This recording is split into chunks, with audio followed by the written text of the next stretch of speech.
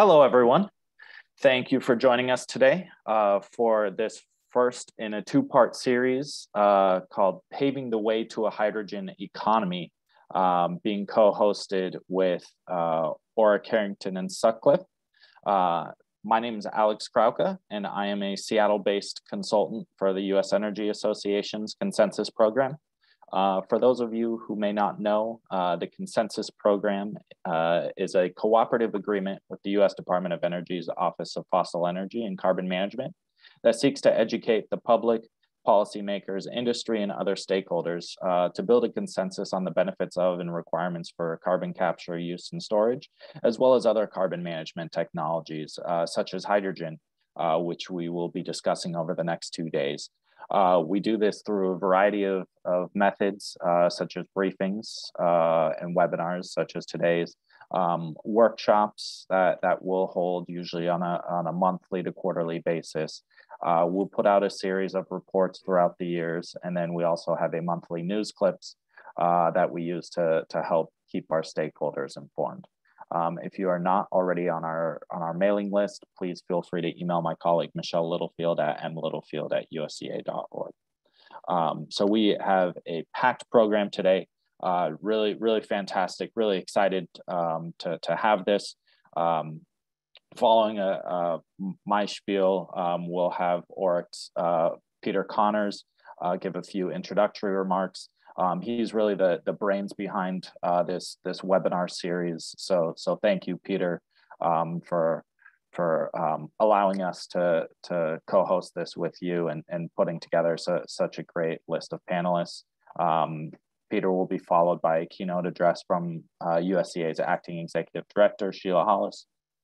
Um, and then we'll go in, into uh, uh, panels um, one and two looking at the national strategy for hydrogen, and then the role of electrolysis in, in developing low, low carbon hydrogen.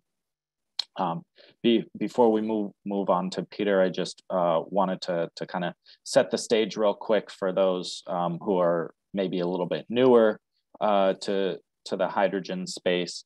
Um, you know, why, why hydrogen? Uh, and, and a big, big uh, reason for it is that it's another tool for, for decarbonization, um, and particularly for, for de, the hard to decarbonize sectors such as uh, aviation fuel, uh, fuel for, for maritime shipping, long haul transportation.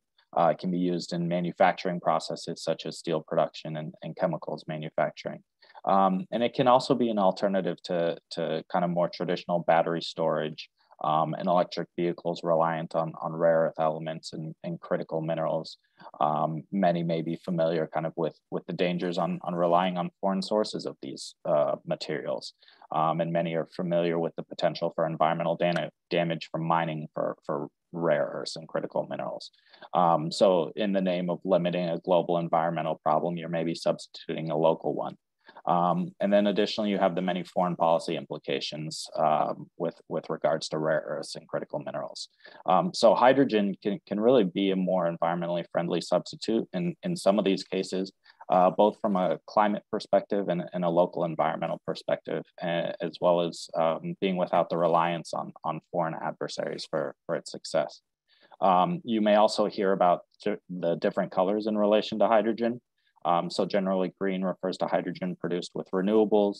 Uh, blue refers to hydrogen produced with, with fossil fuels and, and carbon capture uh, systems in, incorporated um, to, to capture those CO2 emissions from, from the production process.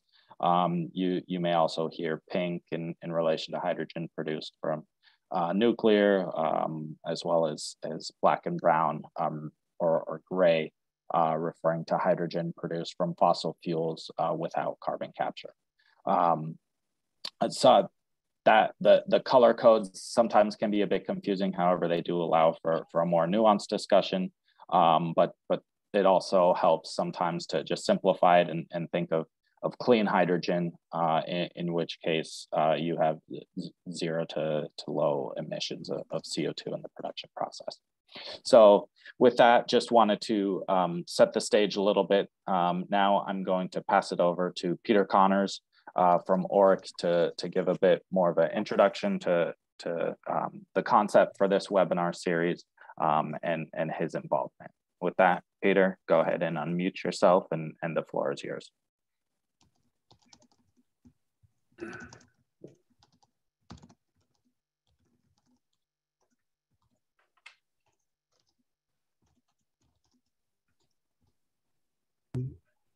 Okay. Um, well, Alex, thank you very much for that very robust introduction.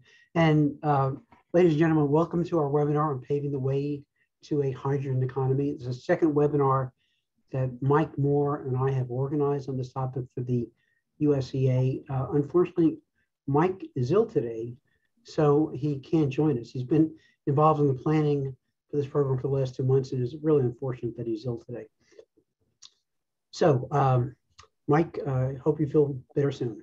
Uh, now, over the next two days, uh, we have four panels I think everybody will find interesting, at least certain parts of the program. There's almost something here for everybody.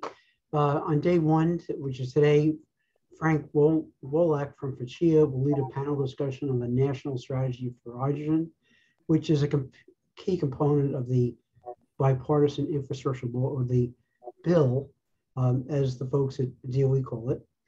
Then Mark uh, Ruth from NREL will lead a panel on the role of electrolysis in propelling the hydrogen economy.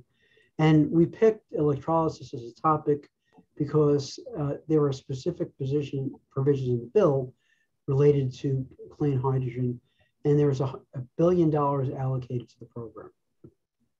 And today we'll wrap up today's uh, uh, discussion with a Q&A where all the panelists will participate. So please send in your questions using the Q&A function. We're not going to take questions during the sessions. We'll get to those uh, during the Q&A session. And then looking uh, to tomorrow, uh, day two, uh, Chuck McConnell, who a, a former assistant secretary of DOE, will kick off the discussion with a keynote address. And and those of you that know Chuck uh, will also know that um, he is quite an interesting speaker. So that, that keynote address is going to be very interesting. And then Chuck will lead a panel um, with um, professionals from Baker Botts on the hydrogen economy evolution. And then finally, we'll wrap up the day with a panel on tax incentives. And I'm sure that's um, a panel that's going to uh, be very interesting given what has happened over the weekend. So um, I, would like to just uh, turn, uh, that concludes my remarks, and I'd like to just turn the uh, podium over to Sheila Hollis, who is the acting executive director of the United States Energy Association.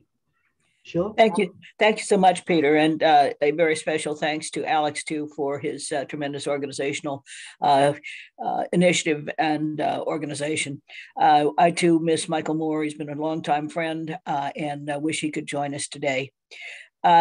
with respect to what USEA is and why it's involved in this, we are about a 100 year old organization. we have two major directives. One is to convene, a la what we're doing today, to convene and educate uh, all players in the energy arena and those affected by energy. Uh, and on the second side uh, of our obligations is uh, work all over the world. We've worked in 104 countries, all pursuant to USAID, the Department of Energy, uh, and the department and uh, the Department of Interior uh, and the Department of State uh, worldwide. And uh, we really began this after the fall of the wall. Uh, and uh, in those 104 countries, we have made and are continuing to make a big difference, uh, whether it's uh, Eastern Europe, uh, former Soviet Union countries, uh, South America, Central America, Af- very, very extensively in Africa and throughout various parts of Asia as well. Uh, we have uh, a modest sized staff, but we work uh, with the State Department, DOE, and USAID uh, and a variety of consultants, uh, domestic and international. Uh, many of the utilities that belong to USEA have worked worldwide uh, uh, to donate their time and their people to various initiatives.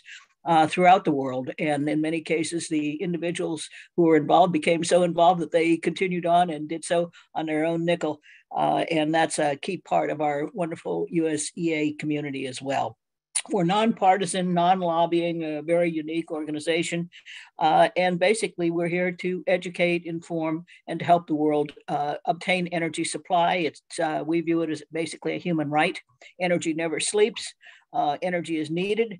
Uh, the world needs it now more than ever, as we've seen demonstrated in uh, recent weeks. And certainly, the hydrogen economy is going to play a critical role now and into the future to solve multiple uh, problems and multiple multiple uh, challenges, and uh, that's why USEA is here, and that's why uh, the Department of Energy is supporting it, and why USEA is helping to implement that along with uh, Peter and his uh, fine team. Uh, Michael, we regret has he is not here, but he has put heart and soul into this uh, for many months as well. So we're honored to have the tremendous speakers that we have here. Uh, thrilled to get to know you and thrilled to learn more uh, about this remarkable initiative and look forward. for those of you who are interested in USEA, take a look at our website uh, see some of the programs we have coming up and some of those that have been uh, recorded over the past uh, COVID uh, shutdown months. Um, and uh, there's it covers just about all there is to say and do on energy, including cybersecurity and the like. You'll find it's very cutting edge. Uh, and we've had major press conferences as well that also have provided a, a lot of information on cutting edge topics as well. So it's an honor to join you today and please, please proceed. Peter, and uh, our team uh, on on the screen now. Really looking forward to learning more with the intense detail that only you can provide. Thank you. All right, thank you, Sheila. So our first panel will be on the national strategy for hydrogen, and it will be led uh, by uh, Frank Wolak. Um, and Frank is the president and CEO of the Washington-based uh, Fuel Cell and Energy uh, Hydrogen Energy Association, FCHEA, um, an organization that represents over 70 leading international and domestic companies and organizations that are advancing innovative, clean, safe, and reliable energy technologies. And prior to joining FCHEA, Frank was the senior vice president at Fuel Cell Energy, Inc. Um, and at Fuel Cell Energy, uh, Frank initiated and developed very innovative and uh, uh, fuel cell technology applications um, and he has worked closely with the Department of Energy, Congress, and state energies to define and sustain programs for hydrogen and fuel cells throughout the US. So, Frank, I'm going to turn the podium over to you. Sure. Thank you, Peter. Um, I want to just thank the USEA and the um, uh, Orrick team for the privilege of helping set up this webinar. It was a lot of work, Peter, but I think we've got a great uh, uh, cast of participants for the next couple of days. And um, I'll start here with a bit of a screen share.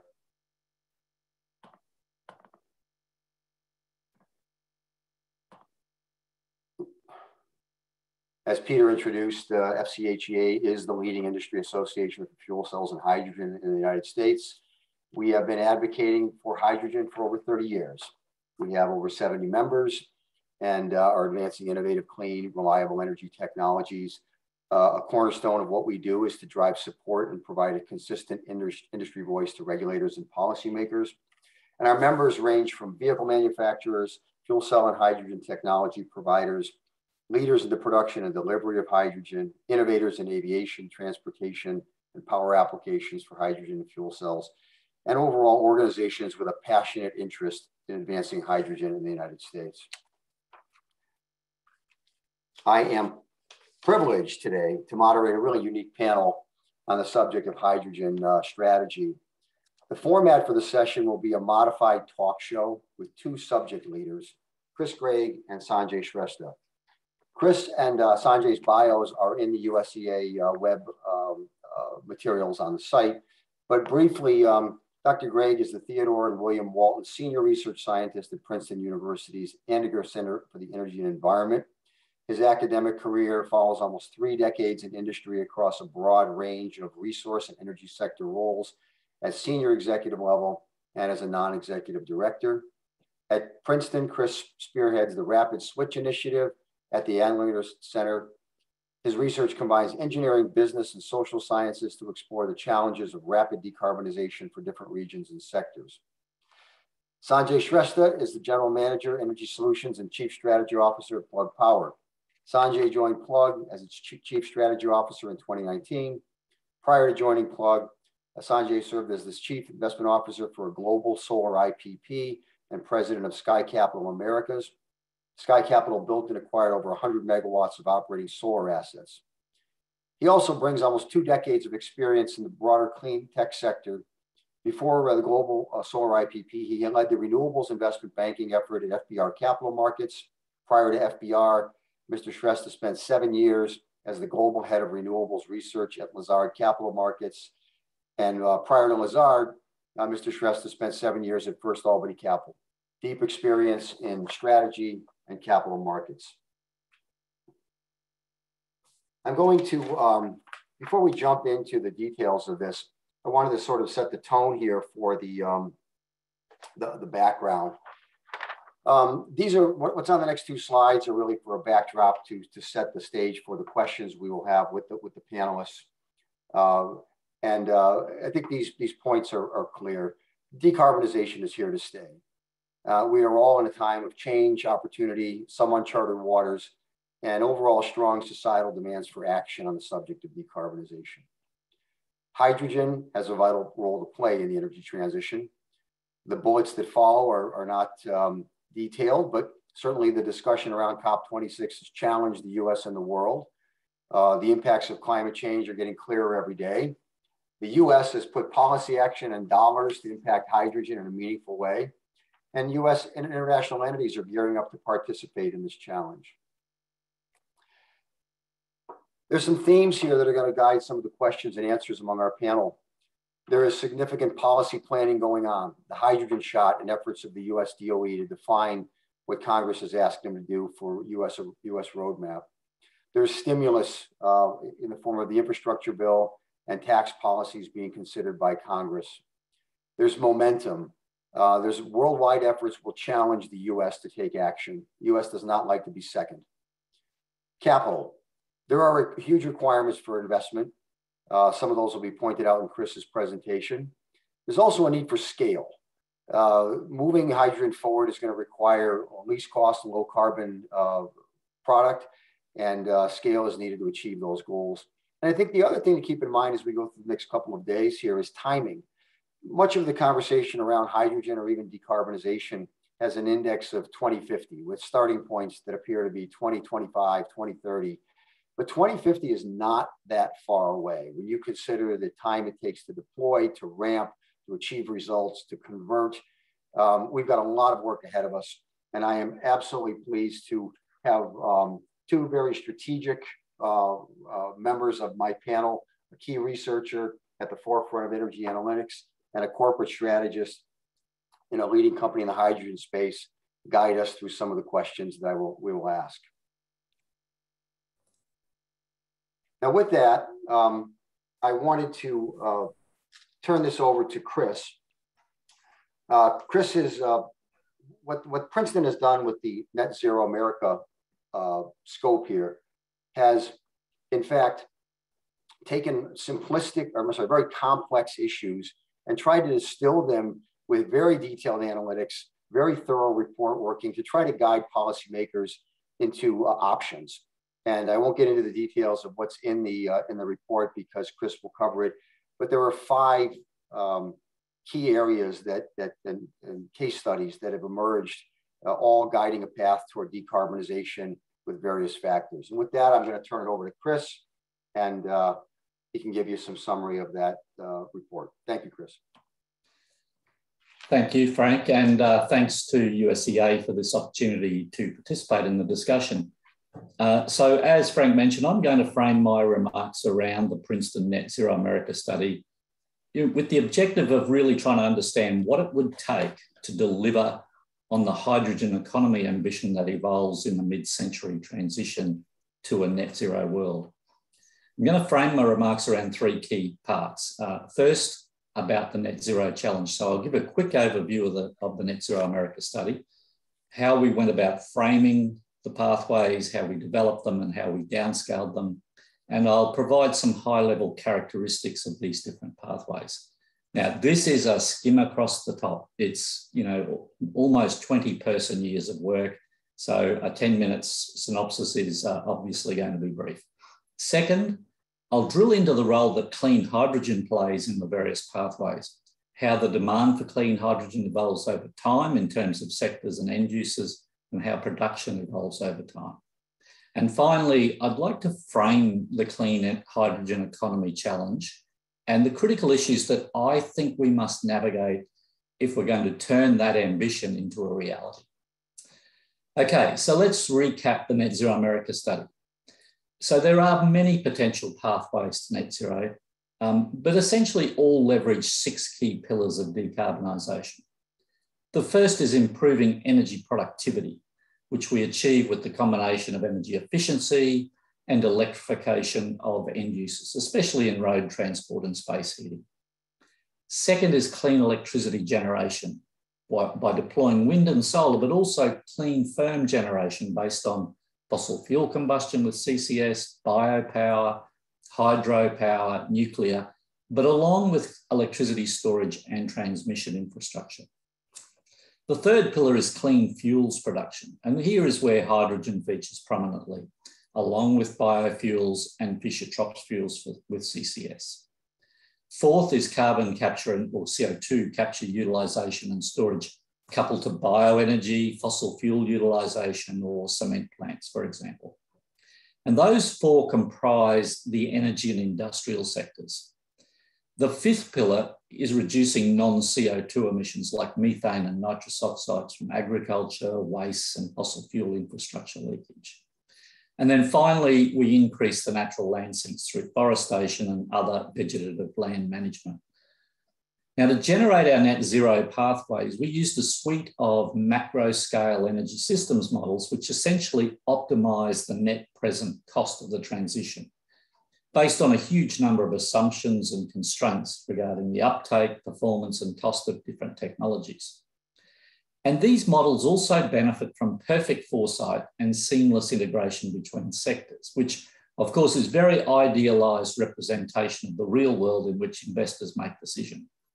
So we decided to explore five pathways which would bounce around between the uncertainties and the different constraints and allow for different assumptions and none of the pathways are what we expect to become reality. But what we aim to do was to more or less span the range of plausible pathways that might get you to net zero. The other thing worth mentioning is that each pathway follows a linear trajectory. So from, from where we are today to, to net zero in 2050. Now, two of the pathways highlight different demand scenarios in which the uptake of end use electrification while leaving the while we leave the supply side unconstrained in cost optimization. So one sees almost entirely electrification of uh, road transport, light duty vehicles in particular, and uh, and heat. Uh, whereas another one is a much more modest uptake of electric cars, for example. The other three choose a particular end use scenario and highlight different supply side pathways. For example, one features a significant expansion of biomass Another focuses only on renewable energy and phases out all nuclear and fossil use by, by 2050. And finally, our fifth pathway looked at a case in which net annual capacity addition of new wind and solar was capped at 30% more than the historical annual record deployment. But that, that, that new hit record is maintained year on year for the next 28 years.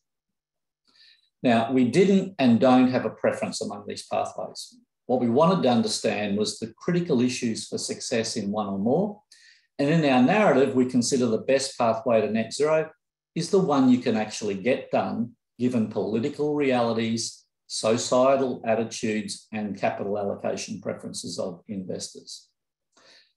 Now, having run the models, we then did something which was more or less a first we, we downscaled these pathways with high resolution. Now, what that means is we essentially located and mapped more or less at zip code level the tens of thousands of individual assets that need to be built over time, considering around 60 real world siting criteria.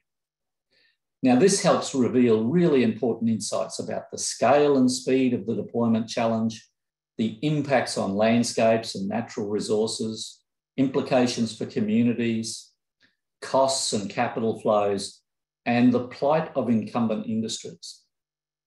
Now, what we find is that all pathways rely on extraordinary deployment of technology and infrastructure at unprecedented speed. So, to give you a couple of features of these, in a scenario which I'd call middle of the road on the supply side, it calls for 1.5 terawatts each of new wind and solar by 2050, plus a threefold expansion of transmission, plus a thousand new bioenergy plants, plus a billion tonnes per annum of CO2 being injected into the subsurface in 2050. It requires more than $10 trillion to be spent on the supply side and 2.7 trillion by 2030. Much, much more than that happens on the, on the demand side. Now, we also find that all of these pathways are vulnerable to a range of different deployment obstacles and local, locally specific bottlenecks and trade-off decisions. So, so the key message is that none of these pathways are easy. They are unprecedented in what they're going to take. So now let's dive into the role of hydrogen in the pathways. So all of these net zero pathways involve the deployment and rapid expansion of clean hydrogen value chains. For example, among the five scenarios, clean hydrogen production grows to between eight and 20 times current hydrogen production levels, from approximately 10 million tonnes per year to between 60 and 130 million tonnes a year of hydrogen by 2050, depending on which pathway. On the demand side today, hydrogen consumption is dominated by the petrochemical sector, and supply is dominated by captive steam reforming uh, facilities in which grey hydrogen is produced from natural gas. That grey hydrogen is emissions intensive, with at least nine tonnes of CO2 produced for every tonne of hydrogen.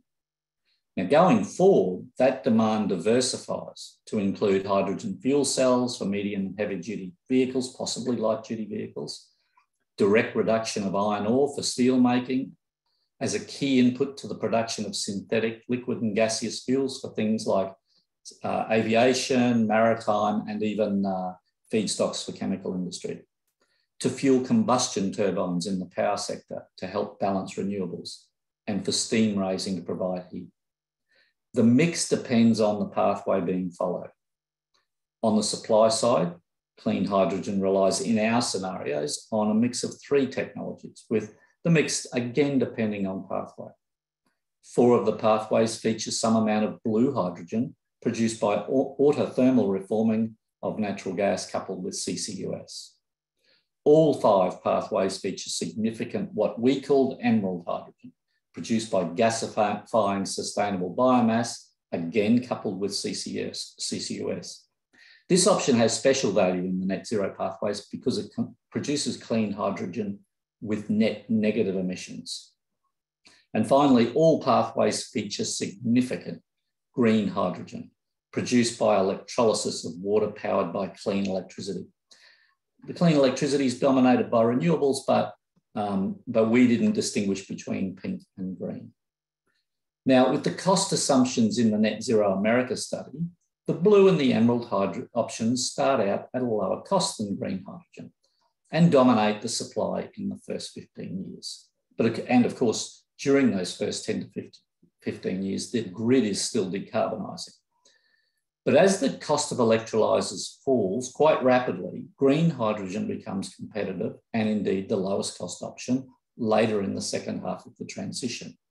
And by then, the electricity grid is actually zero carbon and so the green hydrogen plays a dominant role in that second half of the transition.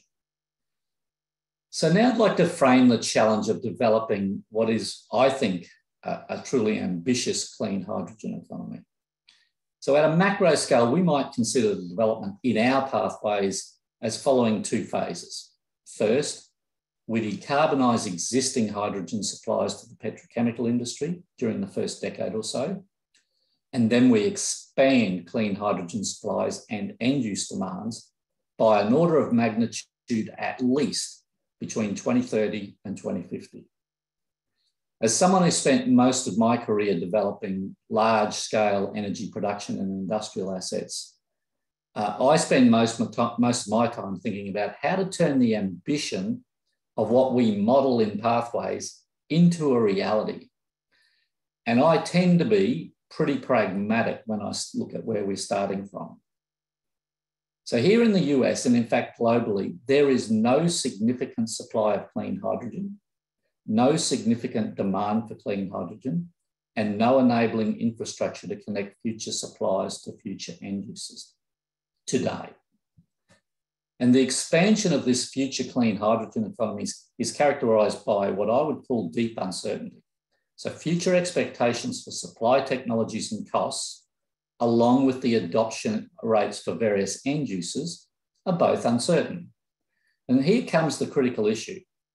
Given the speed and scale of expansion of clean hydrogen production and use, which is called for in our net zero pathways, I think we have a classic chicken or egg challenge in which investors in new clean energy, uh, clean hydrogen supply will be hesitant to invest without a high level of confidence in demand, which probably needs to be underpinned by contracted offtakes. Or investors in clean hydrogen demand, that is the emerging end use markets, will be hesitant to invest without a high level of confidence in reliable, competitive clean hydrogen supplies. And investors in infrastructure, for example, pipelines, refueling stations, storage, etc., will be hesitant to invest without a high level of confidence in a threshold of users, suppliers and buyers of clean hydrogen. Now, to be clear, I'm, I'm bullish on hydrogen. Clean hydrogen demand will expand and investments will likely be made in clean hydrogen production projects. But I think it's this speed and scale of those investments that is unlikely to match what's needed to achieve net zero by 2050. So, in other words, failure to resolve these chicken and egg dilemmas risks seeing a gradual expansion of clean hydrogen value chains and ecosystems, and therefore a shortfall in emissions reduction. So, I'm going to close with a challenge to every panel member over the next two days. Think speed and scale paving the way to a clean hydrogen economy that is large enough in 2050 to support the net zero emissions ambitions of our country must resolve this chicken or egg dilemma. Uh, and so thank you for listening and back to you, Frank. Thank you, Chris. I appreciated the comments. Um, and that report uh, is deep, thorough, and a good read. Uh, for those who have the time, you can download it. Um, and speed and uh, scale, Sanjay, sounds like exactly the kind of questions you wanted to tee up. So I'll give you the floor for your introduction um, uh, and go right ahead. Well, thank you, Frank. And uh, Chris, uh, by the way, again, as Frank said, what a thorough report. I thoroughly enjoyed the report as well. Well, what a great work there. Um, again, I think uh, what you said about speed and scale, I think uh, that is all we think about at Plug Power, right? And I think uh, I couldn't have said it better. That is really what it takes for us to think about this energy transition and hydrogen have to, you know, garner the role that it has a potential to, right? But before I go to that, let me take a step back and maybe just uh, for everybody's benefit, talk a bit about Plug Power, right? So Plug has been around for about 20 years, right? And we take a lot of pride in the fact that we really created a first viable and a very large commercial market for hydrogen fuel cell. How did we do that? we actually, rather than trying to tackle a lot of different markets, go after a lot of different industries, we tackled, I think, Chris, the key point that you brought up, which is chicken or the egg, right? It's always about do I build the infrastructure? Do I get the hydrogen there? Or do I actually have the fuel cell product there, right? So we went after this core market of material handling, where you had a lot of captive forklifts, right? Up running some mission critical application. As a matter of fact, during COVID pandemic in 2019, and 2020, our product was moving about 25% of the retail food here in the US with this forklift, right? So we were able to then leverage the cost of that infrastructure. We were able to bring hydrogen to the site. So from a customer perspective, we were able to provide that one-stop turnkey solution. Net result really took off in 2014 as our CEO, Andy thought about this is the market, we got to go deep, we got to get first app and first market right. Fast forward till now, you know, that business has gone from about 17 million, not quite the trillion numbers that we're talking about here, but from 17 million in revenue to now this year we'll do about 500 million dollars in revenue, and we're talking about doing as plug 3 billion in revenue by 2025. Now, with that, what has that allowed us to do is basically become deeper in the not just in the fuel cell application side, but also in the hydrogen business, right? And in 2019, we made a strategic decision that we're going to basically start to have bigger control of the hydrogen fuel as well, rather than just buying from the third party supplier.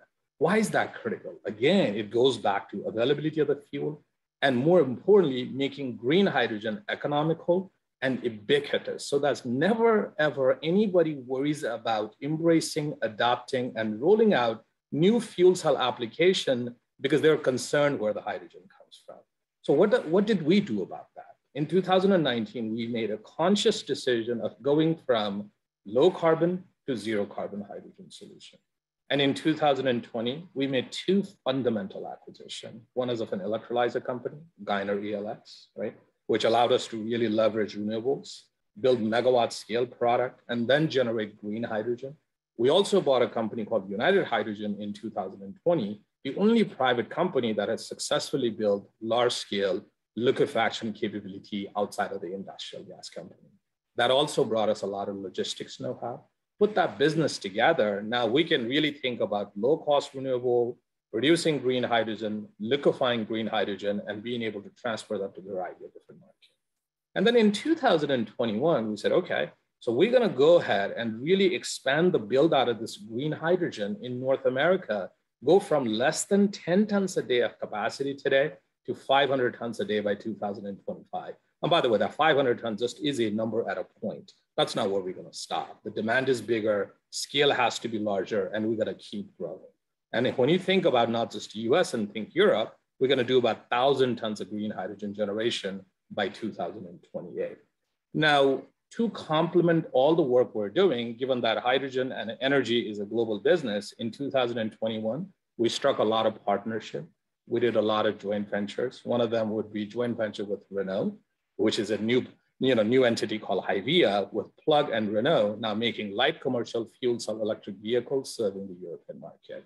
We're working, finalizing our JV with Fortescue in Australia. We just formalized our partnership with Acciona to produce green hydrogen in Europe. And we're also working on finalizing our partnership with SK Group, you know, to actually have a presence in Asian market, starting out with South Korea. So we've taken our success in this first market, you know, from North America increased and our presence in the green hydrogen business, taken this on a global basis, and we feel like we built this platform. And the reason this platform creation was important is exactly the point you made. It's about speed and scale, and it's about really getting the cost of green hydrogen down right and really making sure that we can execute on this growth needs because I think this is what's exciting about it, right? So when you really start to think about green hydrogen, this is a perfect way to decarbonize the electric grid because we got to add a lot of renewables in the grid, right? Once you do that, then there is some grid stability related issue. Going back to your point of how do you think about some of the other generation source that allows you to keep grid stable? Think about pipeline infrastructure for hydrogen. Think about long duration storage for hydrogen. Think about fuel cell actually being a solution from a peak power perspective. And then layer that on with all the new apps, right? Material handling, on-road vehicle, light commercial vehicle, middle mile vehicle, long haul trucking, stationary power, data center, and also thinking about decarbonizing the industrial economy of, you know, refining industry, ammonia industry, other manufacturing entities, right? So to be able to do this, you know, we've obviously gone out and raised quite a bit of capital as well, right? And uh, we now are sitting with about $5 billion of cash to execute on this strategy. Again, not a number that's going to be able to execute on all this trillions of dollars of capital, but obviously that's why I think the role of the government, some of the policy initiatives that we're talking about, I think are super critical to make hydrogen equally a bankable asset class, like how we feel today about solar and wind. Once you can get to that point, access to capital becomes easier and easier to really help propel the growth of this industry, which Chris, as you said, we cannot afford to get wrong. So, um, so Frank, with that, maybe I can turn it back to you, sir. Sanjay, yeah, thank you. And uh, clearly plugs uh, activities over the past two decades are really a benchmark for the way other companies have to go to market and address these factors. We're going to take a bit of a cut over here for a moment because Alex, uh, we, are we're, we're going to have a poll question put up. Alex, perhaps you can uh, cut in here and uh, insert the poll question to the audience.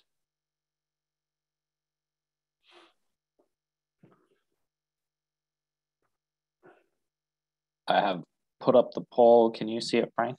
I can see it fine. Okay, perfect.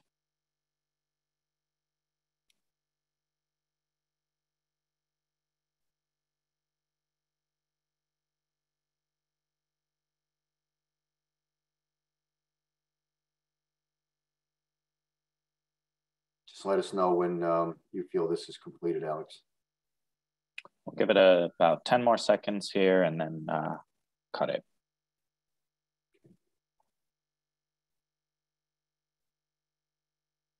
All right, looks like everyone who intended to answer has had a chance to, so go ahead and share these results.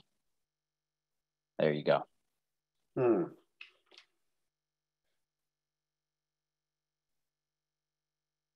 Interesting outcome. Well, actually, as we talked, some of the question and answer, um, uh, the subject of Hydrogen Hub is going to be part of this. Uh, it's a cornerstone to what the US DOE is doing. I'm going to start with a few questions and I might as well start with the, um, the subject of, of hydrogen hubs. The DOE roadmap that is um, being uh, required by Congress and, and undertaken by the Department of Energy will outline a plan for massive increase in hydrogen use. A cornerstone of that plan is the development of several hydrogen hubs. And I'm going to put this out to uh, perhaps Sanjay first, and then I'll go to Chris because the questions are slightly different. Sanjay, do you believe the hubs will jumpstart the diversity of applications and investment required? I mean, Frank, short answer is absolutely yes. Right? I think it's an excellent program.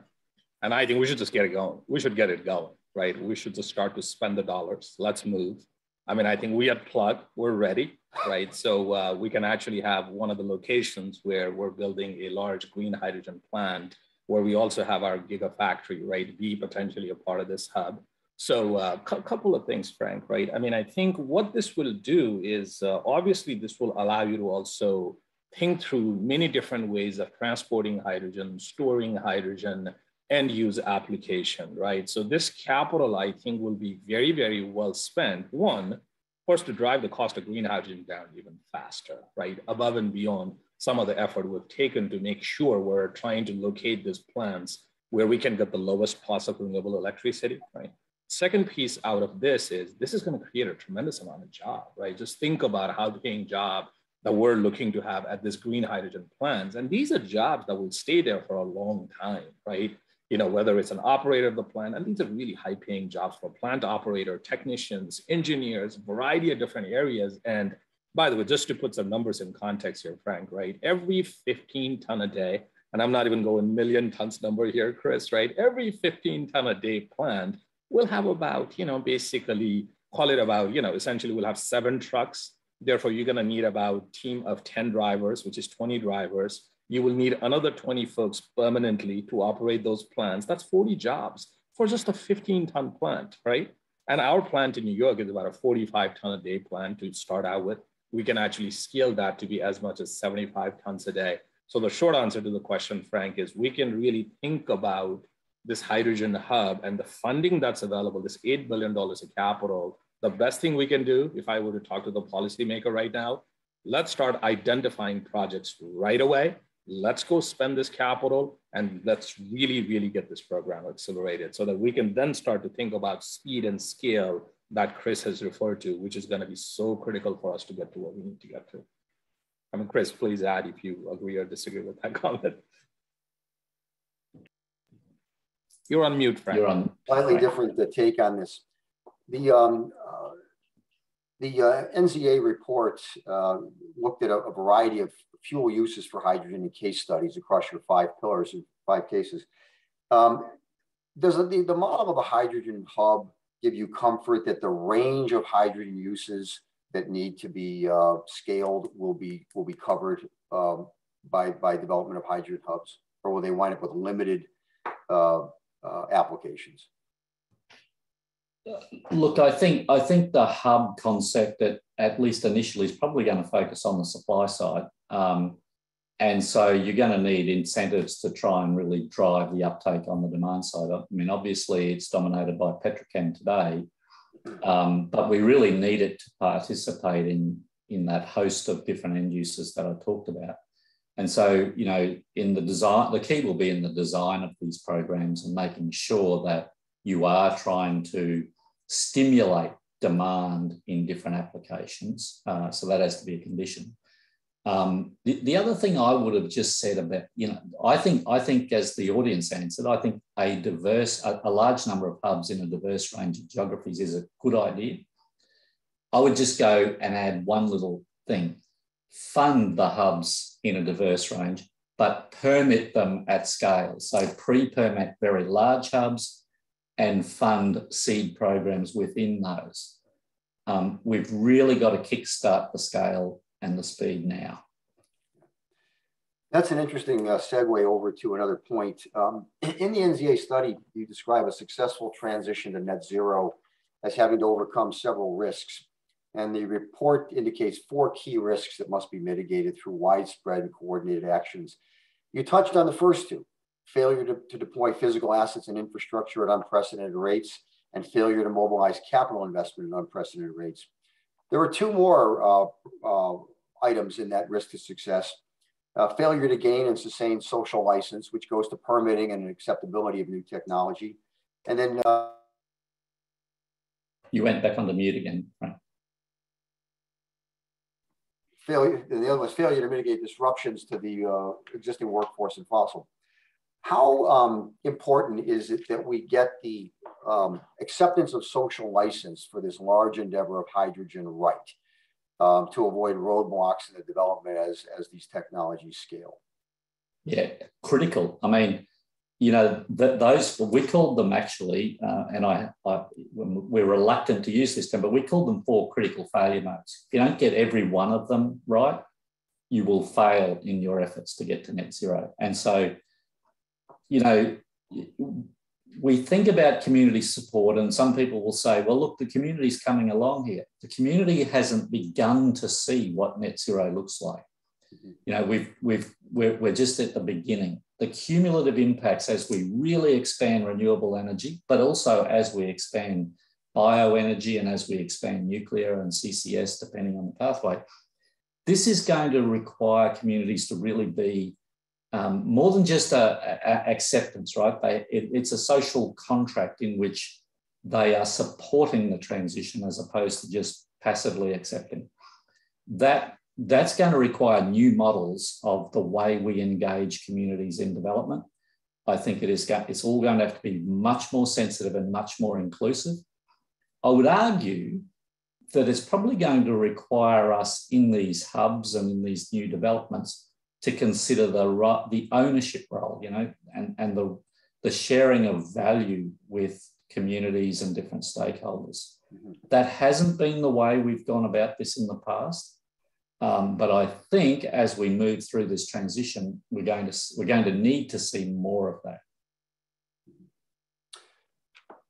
Um, I'm going to segue a bit over to capital markets because Chris's point about new models and new structures was um, uh, important in the development. Anybody who's been involved in project development knows that you have to make sure that the uh, the communities and the uh, uh, uh stakeholders in an area where, where a project's being built will um, will not uh, be negative.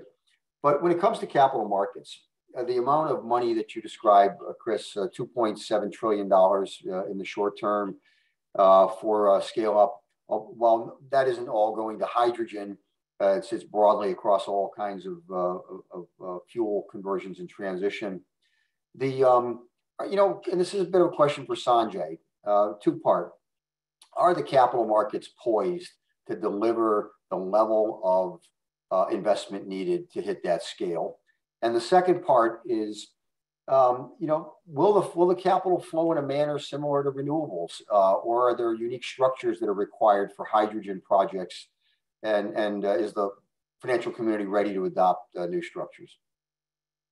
Great, great question again, Frank. Right. So uh, by the way, also on one of these uh, points on the workforce from fossil industry to the new industry, if I may just make one quick point on that as well, sure. Frank, just so that everybody's aware of, right? The team that we have built at Plug, right, in terms of building some of this green hydrogen plant, so they either come from solar and wind industry with that know-how, and they're complemented with folks that are coming from either LNG or the refining industry or the traditional power industry, because the skill set is so transferable, right? So I think when we think about this workforce transition, is a perfect complement to this energy transition that we're talking about because they find a perfect platform to go to doing very similar work that they are doing but that is going to be better for the world and the society as a whole, right? I think this is something which we just really highlight because new energy industry is going to be able to really use the talent and the skill set that folks have learned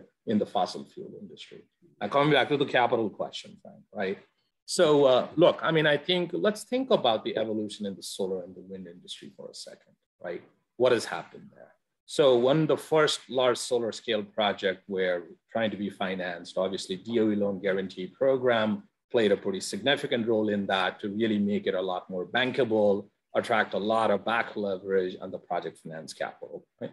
When folks were looking at that initial investment, the cost of financing the solar assets were like 14, 15% kind of an you know, project level return, right? You fast forward that 10 years, levelized cost of solar is now competitive against single cycle and even combined cycle gas fired power plant. And folks are now comfortable with 6% equity return, not project return, 6% equity return, tremendous benefit in the reduction in the cost of that. Now, second is the production tax credit for wind industry and what the levelized cost of wind energy has done you know, compete against the price of coal in some location if you get the right capacity factor, right? And there are other detail and the nuances here, which I mean, most of you understand in terms of base load versus the intermittency aspect of it. But when you look at the benefit of that production tax credit for the wind industry, what it has been able to do from a back leverage tax equity to drive the cost of that renewable electricity down and really draw a lot of capital, right? You no longer are just attracting capital from equity investor you're now able to attract capital from standard private equity folks. You're able to attract capital from infrastructure fund. You're able to attract capital from pension funds, right? So the pool and availability of the capital went up a lot, resulting in reduction in the cost of that capital and the liquidity in the market. Is the hydrogen industry and the green hydrogen industry there today? Not there today. No, it's not, right? look, we've been fortunate that we've had access to capital markets, but that's largely been equity capital, right? So if there is, and that's why we're a big supporter of the production tax credit that is being talked about, we hope that is actually hurdles the roadblock that we're maybe seeing here and moves forward pretty rapidly because there is a parallel to be drawn here in terms of reduction in the levelized cost of green hydrogen, similar to what we've seen with the renewable industry.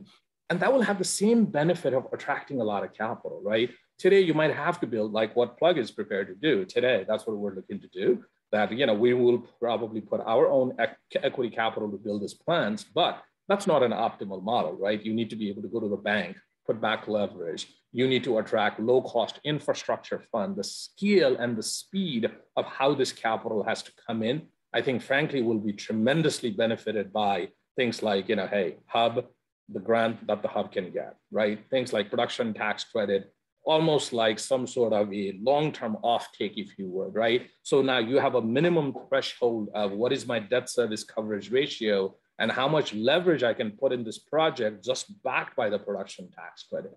That's what we need to see happen. Will the capital flow? I mean, look, I think uh, energy has always been an industry that's seen a lot of capital in it. There's a potential to do a lot of green bonds issuance, right? We actually at Plug did the first ever convertible green bond out in the market as well. So, Frank, I think uh, it's hard to say absolutely yes, the capital will be there, but I think the pieces and the ingredients of what we're trying to do from a policy industry, I think should allow us to really have access to that capital.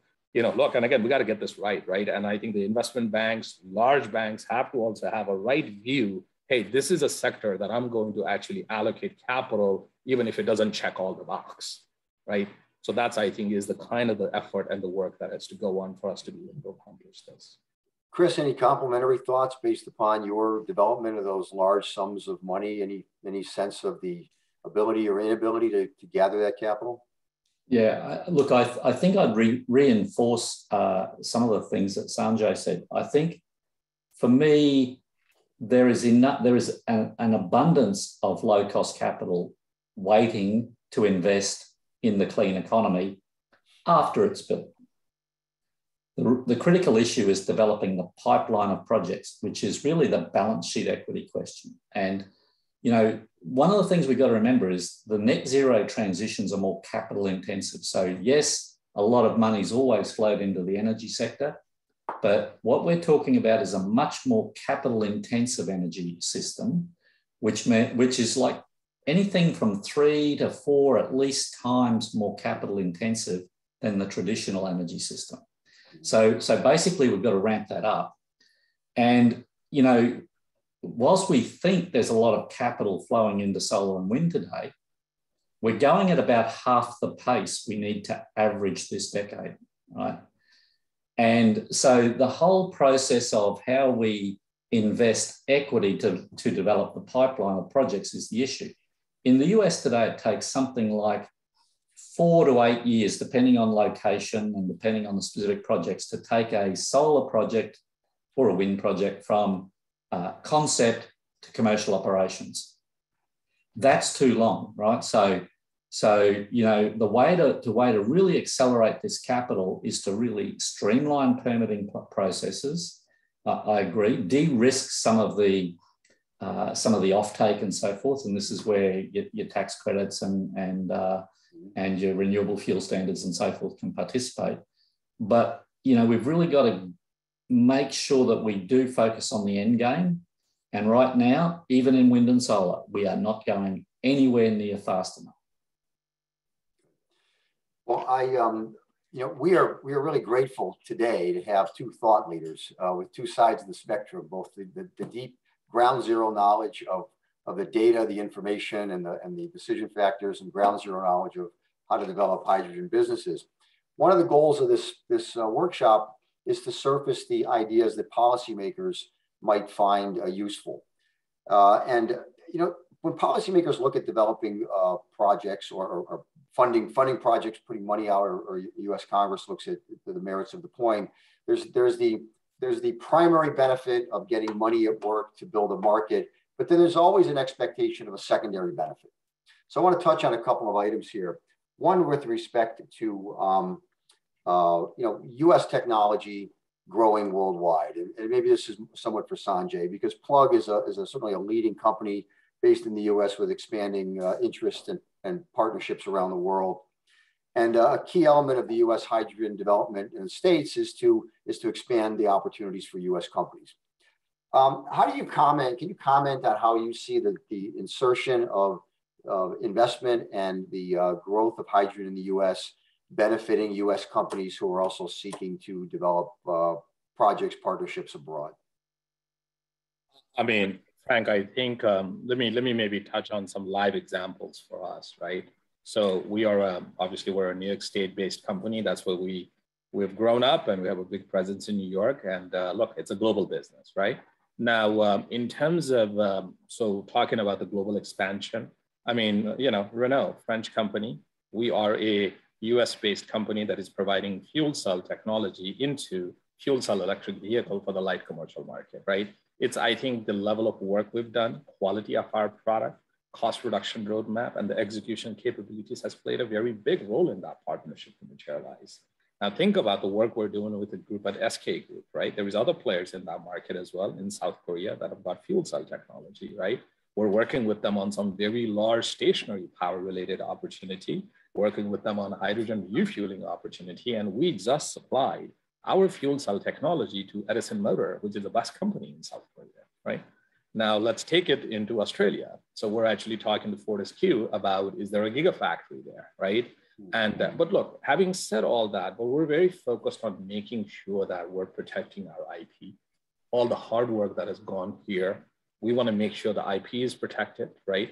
But having said that, energy is a global business, fuel cell application is a global business. And I think what we've been able to do work on the hydrogen side, work on the fuel cell application side, I think has been one of the big differentiating factor that has actually had a lot of inbound for us, frankly, Frank, from a lot of big players on a global basis. And that's why you've seen all this partnership that have materialized. And finally, look, we just announced this 100 megawatt electrolyzer deal where we want to build this 100 megawatt electrolyzer facility to support an ammonia plant before COP27, right? And it's a consortium out of Egypt as well. So I think uh, why did why did we win that win that deal and uh, in the speed that we did because they felt comfortable about the fact that we can execute on the timeline we actually already have a gigafactory. We have the balance sheet. We have the track record. And more importantly, we're also using some of this technology for our own green hydrogen plant as well, right? So there's a lot of knowledge sharing that can happen.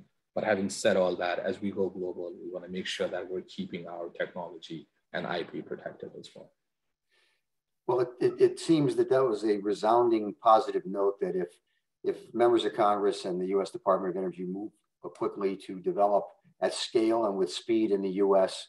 US companies who will partner, who will invest in the technology here are going to be able to leverage that around the world. And uh, it should be something that uh, we all give confidence to the DOE as they look at their roadmap. Um, something uh, you know, I'm going to bring back a point. It's not, not really a, a question, but I want to make sure we don't lose this. So whoever's taking notes, Peter, Alex, uh, or Connor Dolan from FCHEA, you both touched on an important point that I think we should we should uh, not overlook, and that is that as as the U.S. develops its roadmap, it really needs to look at convincing or messaging to industries that they should be adopting and embracing this change, and that that that extra um, I'll call it marketing, messaging, and value um, that this is in everybody's best interest sometimes gets overlooked in a in a technical or economic sort of roadmap.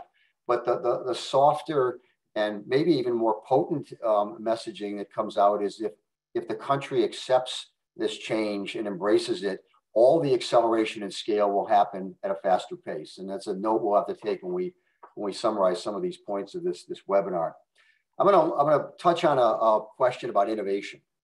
Um, much of the technology that is, um, that'll be immediately deployed is, is known, it's been proven, it is um, uh, going to be applied in different, different forms and, and, variations. But with the launch of any new industry, there is, there is always room for broad innovation and the technologies that are yet to be developed. So what I want to do is put the two of you in the mindset of two guys in a garage in Los Altos, California in 1976, envisioning computer applications yet to be commercial. Are there technologies and applications and uses of hydrogen that'll emerge once the momentum and social adoption has started. Put your visionary hats on. Tell me what the future might bring. Would you like to go first, Chris? uh, you know, the reason the reason I mixed business, social sciences, and engineering is I wasn't a particularly good engineer. So, um, uh, look, I've got no doubt, right? Um, and uh, you know that's why we have five pathways. We, you know, we're very quick to say we have no idea what the future looks like. So, uh, yeah, yeah. Look, I'm I'm I'm the worst person to ask what is a future uh, undiscovered use of hydrogen. but but the one thing I'm sure of is that there will be something now. Um, to be frank, as someone who, who focuses on the net zero delivery challenge, I tend to say that's the last thing I want to work on. I actually want to work on deploying what we know. Uh, we know everything we need to get to net zero, right? Some of it is technology ready, but not commercial ready. And so we need governments and industry to work together to, to break any barriers to make it truly commercial um, and to really accelerate that process. Um, those things that seem a little technologically immature, we need to put some R&D money in to just drive them forward. Um, but, but of course, we need to invest in discovery and, and we should invest in new discoveries and we should be alert to them. And we, as they emerge, we should want to accelerate those too. I mean, when we get to 2050, this job's not done, right? we may be at net zero, but we're going to be replacing assets. We want to bring costs further down. Uh, and so we need to think about the technologies that replace what we call today innovative. Um, but as for what is this future, oh, man, I, I really don't know. Fair enough. Sanjay, crystal These ball? are always, it's always hard to sort of get into exactly what that could be, right? But, uh, but let me, again, I think as a, so let's think about um, if we were to envision a new type of an energy infrastructure in the new energy world, right? So um, I'm going to dream a little bit here, if I may, Frank, right? Since that's the question, right? So let, us go ahead and dream a bit where uh, we don't have any fossil fuel generation. We're no longer using diesel, right? We're no longer, we're actually, we've displaced uh, gasoline with battery electric vehicle and diesel with fuel cell electric vehicle. You now have a new world where obviously there's a lot of autonomous driving, right? Even now fuel cell application and electrification has taken hold even in the aerospace industry, right? So this is, let's say 2050, where now you need, as I think Chris rightfully pointed out, tremendous amount of renewable power and power in general, but it has to be renewable. And then I think then you need to think about, okay, so that's on the generation side. What are the technological breakthrough that maybe is needed on the electrolyzer side? Do we need to be thinking about a 100 megawatt stack maybe instead of one, right? Is that what we should be thinking about, right? And what are the innovation that has to happen for us to scale that up? Going from one, five, 10, 25, maybe within the roadmap, but how do I really think about a electrolyzer that is going to support generation of 1,000 tons per day green hydrogen plant, not 10, not 15, but 1,000 plus tons per day. Then you're starting to think about 10,000 tons per day of green hydrogen plant. What are the innovation needed from power electronics, right? What are the innovation needed from electrolyzer side? And then the next piece is how am I going to transport this hydrogen? It's probably a 36 inch pipeline. What are the innovation that is needed for us to displace natural gas pipeline with hydrogen pipeline? What are the things I need to do from a long duration storage perspective? Is salt cavern enough? Are there other ways to think about long duration storage for this hydrogen, right? And then finally, the end user application, I think that's a continued innovation, right? That probably is going to follow. We, we sort of talk about this as a learning curve that the plug had. Every time we double the number of system in the field, we take our cost by 25%.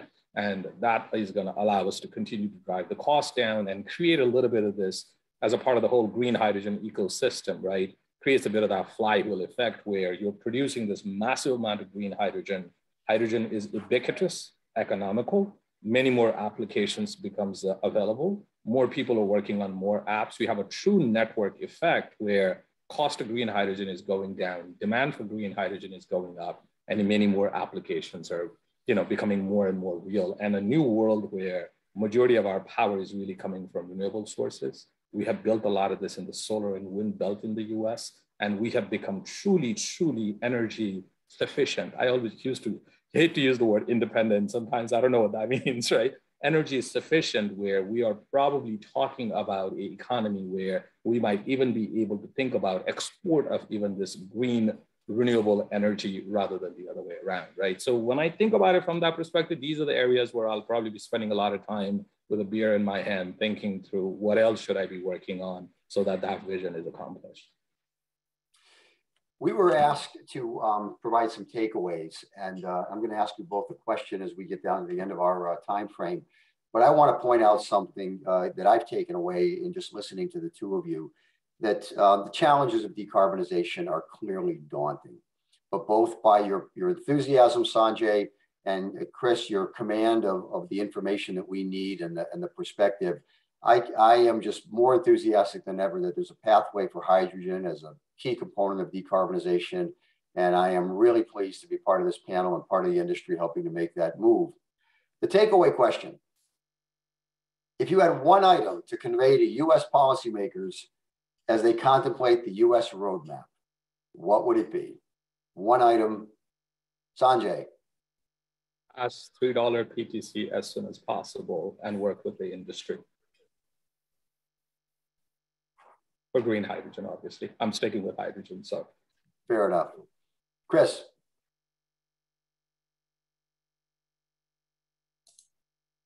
Leaning hands on the steering wheel and drive this ship. Don't leave it to markets. Take control of it. Take control. Interesting. Well, I want to thank both of you because we're down to the end of our uh, segment here. I've got a few more questions. I could go for two more hours, but uh, we've heard so many things, speed, scale, innovation, readiness of capital markets. Um, I'm excited. I'm going to turn this back over to Peter. Thank you both for this, uh, this panel. Peter, take it to the next level with our electrolysis folks. Right, and, and of course, messaging is another key takeaway, right? Messaging. Uh, yeah, very important. Uh, you hardly ever hear about hydrogen when they talk about the electric vehicles, right? You know, but the fuel cells are clearly a part of that. So why don't we take um, a, a, two minute uh, stretch break, come back at, you know, 315, 316, and we'll then move on to the electrolysis panel. Thank you. Thank you very much, guys. I really Great- appreciate great panel, it. guys. Thanks Yeah, a lot. thank, you. Bye. thank you. Bye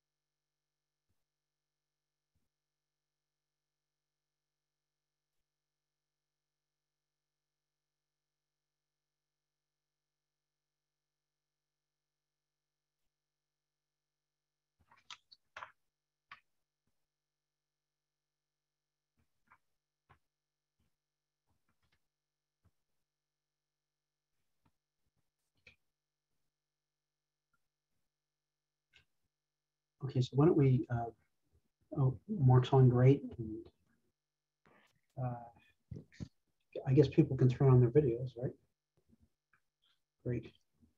Yes, as, as my fellow panelists start arriving, they can turn on their videos. Then Peter, I'll let you kick us off as soon as you think that folks are done stretching or stretched out or uh, are sufficiently flexible for a panel on electrolysis. Oh, God. Uh, Make sure you have your Gatorade, right? That's right.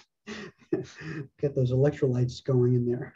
Um, so why don't we, we just begin here? Um, so our second panel is on electrolysis. And why do we pick electrolysis?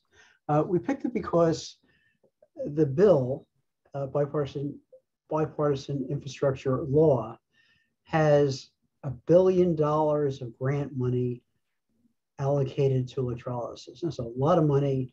And that clearly shows that Congress thinks that electrolysis is the key to the future, the key to the, this, or an important part of this, this uh, transition to net zero. And we have today a really uh, excellent panel.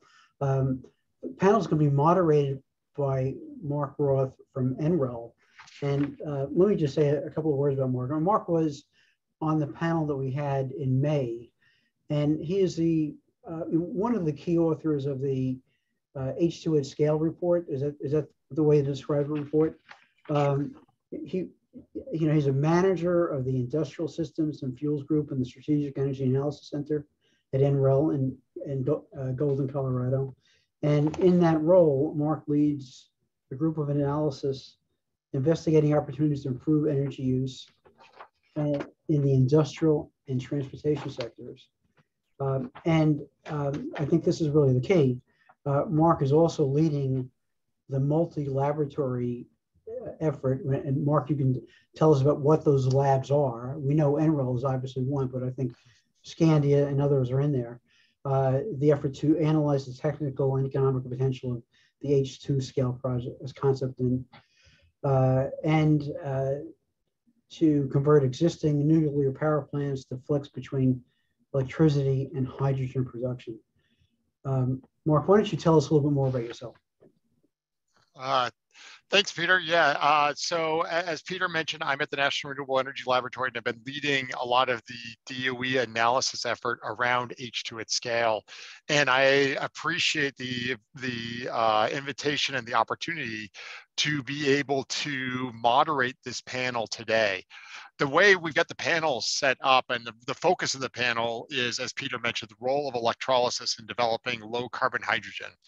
And we've got we've got this panel set up is I'm going to use that H2 at scale analysis work that we have done to kind of lay the groundwork, why we're focusing on electrolysis, kind of where we're headed, what we think some of the potential is.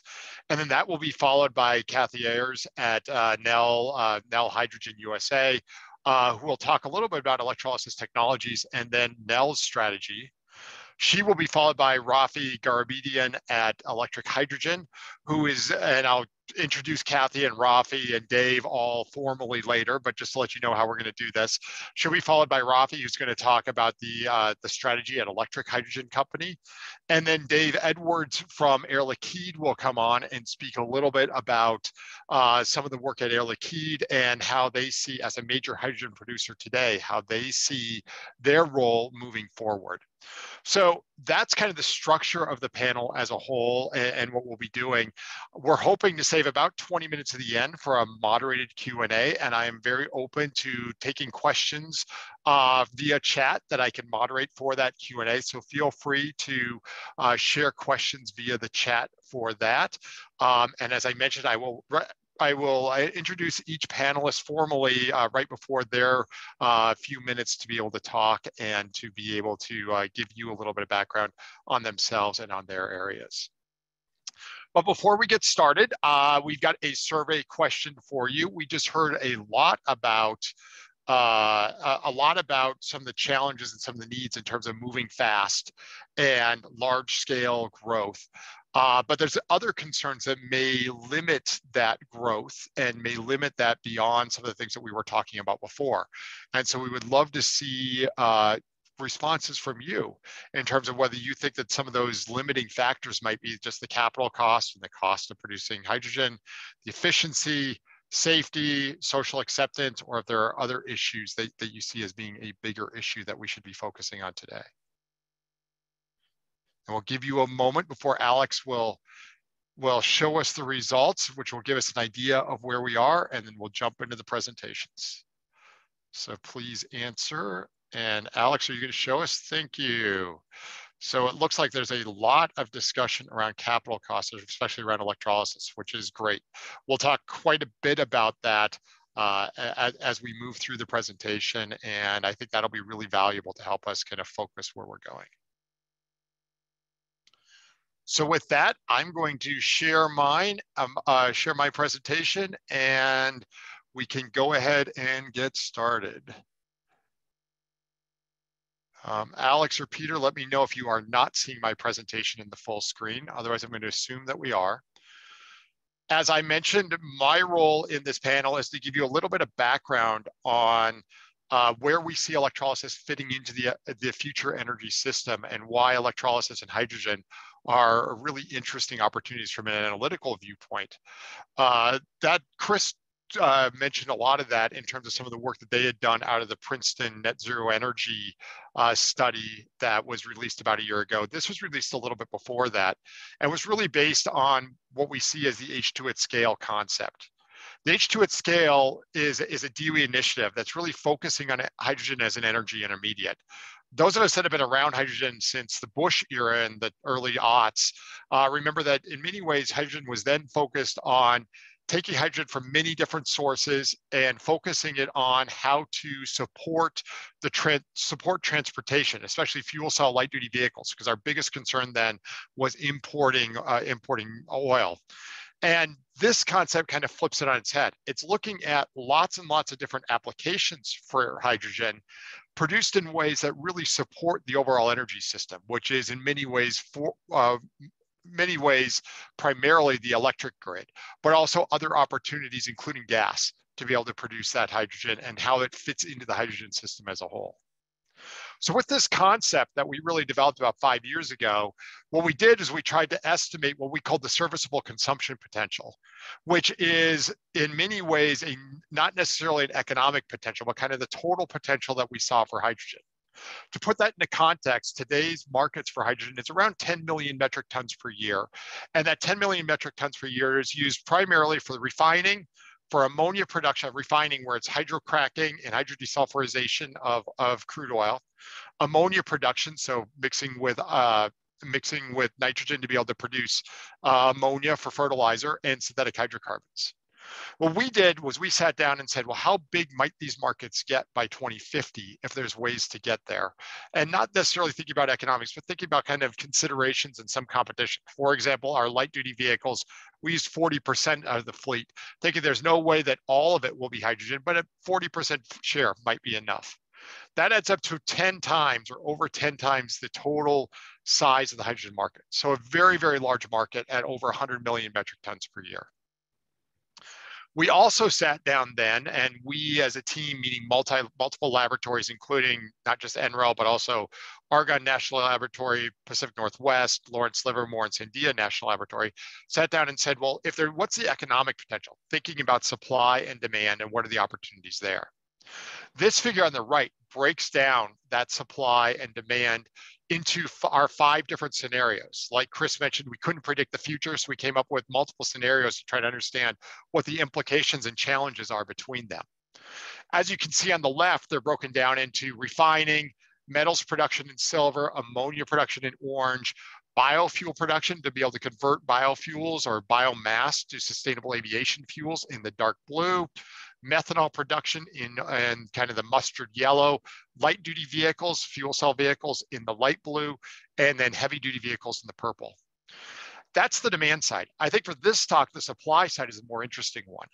The, the steam methane reforming of natural gas is kind of the reference scenario based on it being the most economically competitive in reference futures, uh, followed by some hydrogen production from uh, economically challenged nuclear power plants with high temperature electrolysis in this yellow color. And then green is low temperature electrolysis from uh, what we call low cost dispatch constrained electricity, which is part of the electricity coming from potentially renewables like wind or solar. What's really happening down here is we're really seeing a lot of electrolysis growth to be able to serve 36 million metric tons per year of hydrogen market type size with some additional electrolysis from high temperature or some additional high temperature electrolysis to be able to serve the remainder of the market. So what does that mean? That leads into not just a lot of energy for electrolysis, but also energy that supports the grid as a whole. Looking at wind, which are these five points on the right, we're looking at the same five scenarios. This low natural gas resource, high natural gas price scenario doesn't have a lot of hydrogen in it, but you can see that we have about 2,000 terawatt hours of wind generation per year. To put that into context, uh, last year, I believe we were at less than 400 terawatt hours of wind generation. So it's a quite a bit of growth there.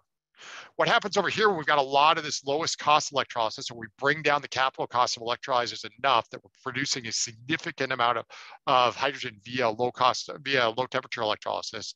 We end up with not just this green part of the bar, which is electricity to produce hydrogen, but also an increase in the blue part of the bar, which means that part of the time uh, new wind generation would, is being built that wouldn't be built otherwise to be able to produce some electricity for the grid and some electricity to produce hydrogen. If it were to be built only for electricity for the grid, then it would probably wouldn't be built because it, during the hours when it would be generating electricity, there would be not enough available left, or there would be the there would be not enough load on the grid to be able to utilize that electricity. So a major learning is how might we do that?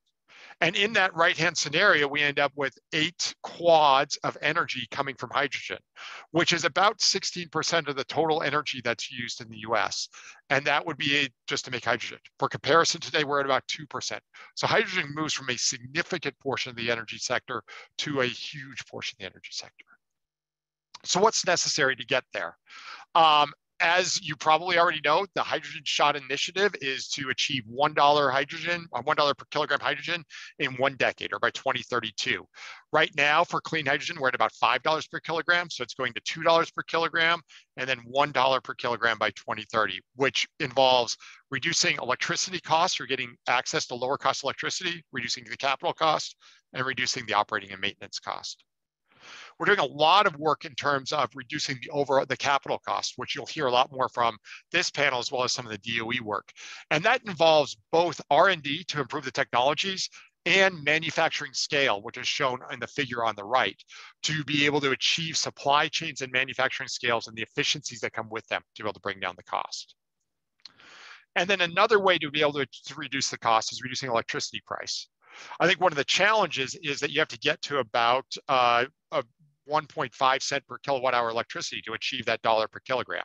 Now, can you do that all the hours of the year? Probably not, because there's capacity payments there's other needs. However, this piece of work, which you can see the reference to down here below, shows that if you use electricity when its price is low, in other words, when generation is high and load is low, or one or the other or both, then you might be able to optimize in such a way, especially with low cost electrolysis, to be able to achieve numbers like the $1.60 we have here with $100 per kilowatt, or sorry, $100 per kilowatt electrolyzer and this historic electricity price from Palo Verde. So that's an existing price on the market today. With lower prices, as more renewables go in, there's opportunities to get even better than that. So that lays out an overview of what we're doing and what we're trying to do as a whole within DOE and within uh, within the hydrogen community to be able to bring down the costs and why we see that as a real opportunity. That completes my presentation and opens us up for our second survey question of the day, which is what applications should green hydrogen focus on, should we focus on with green hydrogen first, whether that's backup power or energy storage, the chemical industry, the manufacturing processes like steel refining where hydrogen is valuable, off-road transportation, especially maritime and aviation, which are significant, but require liquid fuels in many cases, or on-road transportation like fuel cell vehicles using hydrogen gas.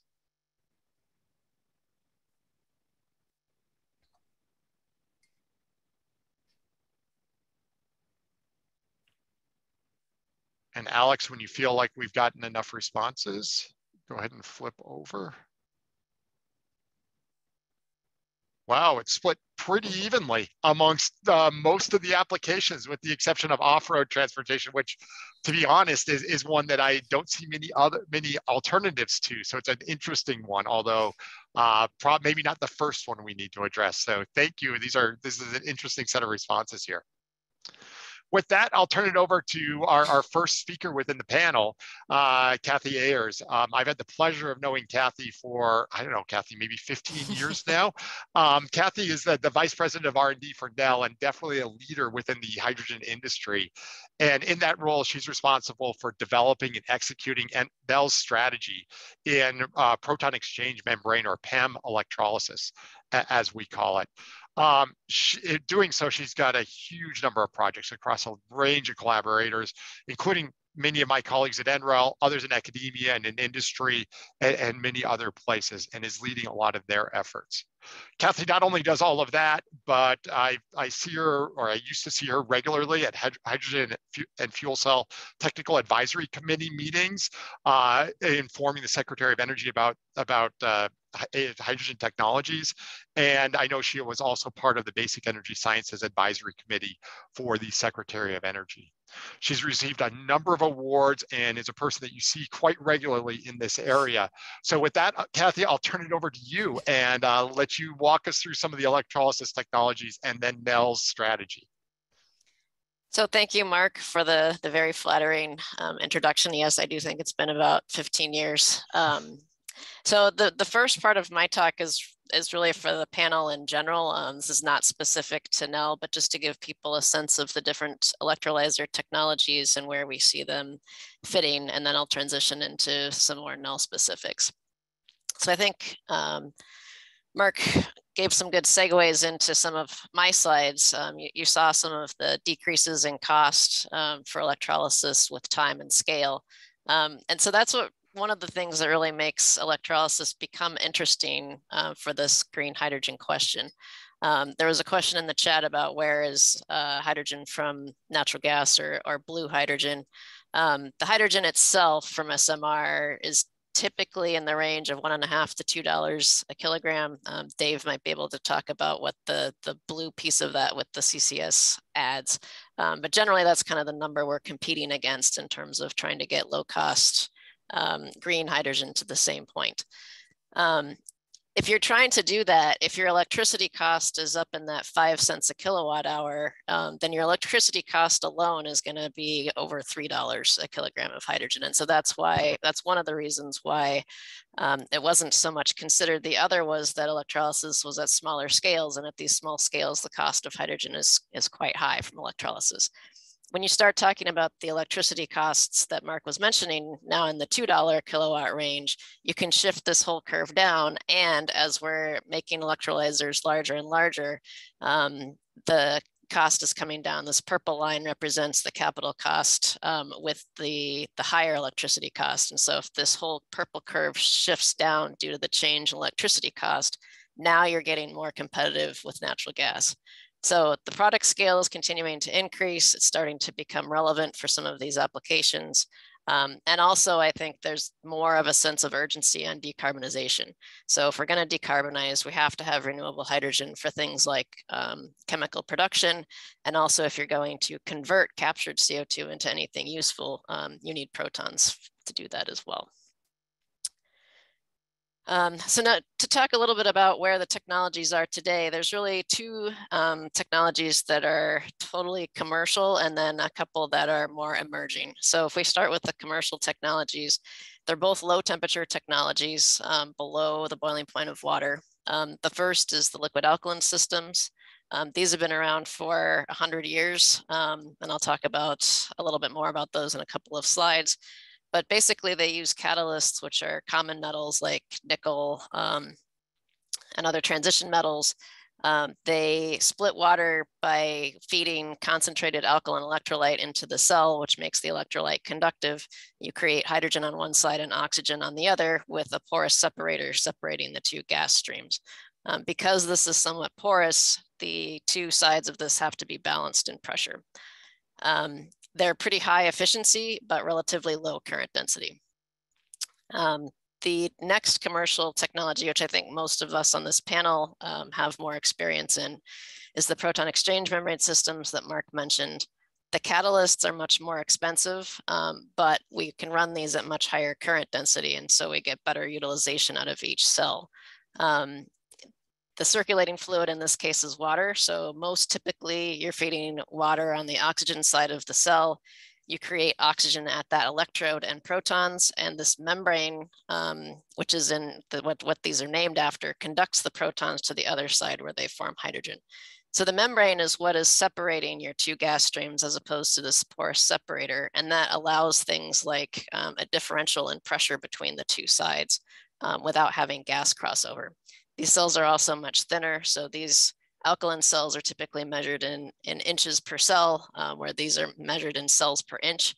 Um, and so you can see the relative scale of a relatively similar capacity stacks um, on the two sides. The two technologies that are uh, somewhat less mature, um, I would say I'm going to start with anion exchange membrane systems, even though I think they're the least commercially mature because they follow well from the other two I've already talked about. They're really kind of a hybrid between the liquid alkaline systems and the PEM.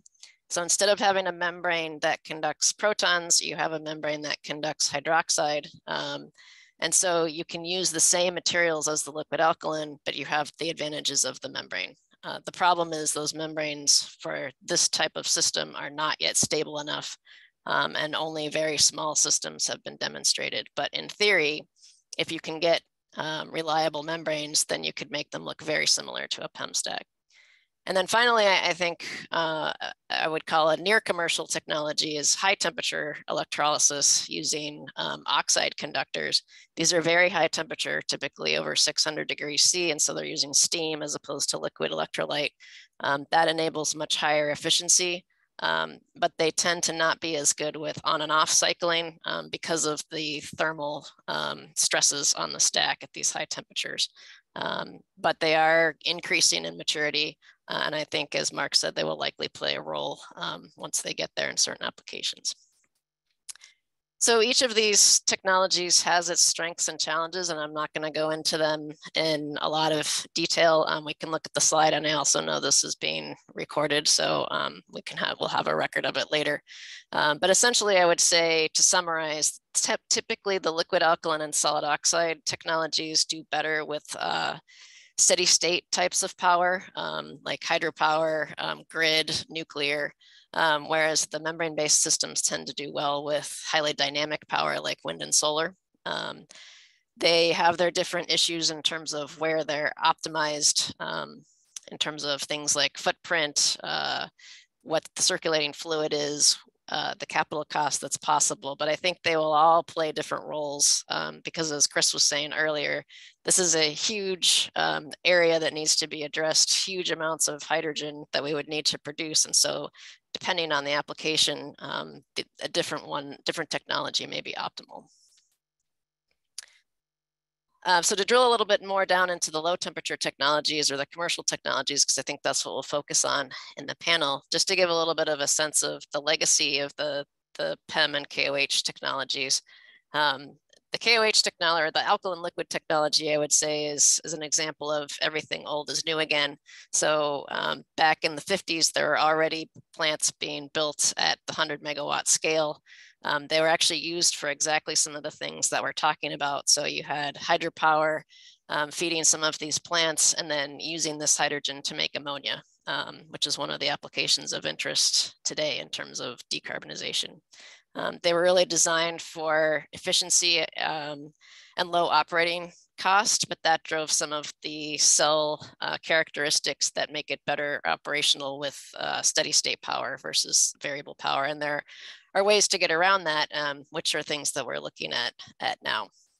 Similarly, the PEM technologies uh, were developed for a specific application and not necessarily the renewable applications that we're talking about today.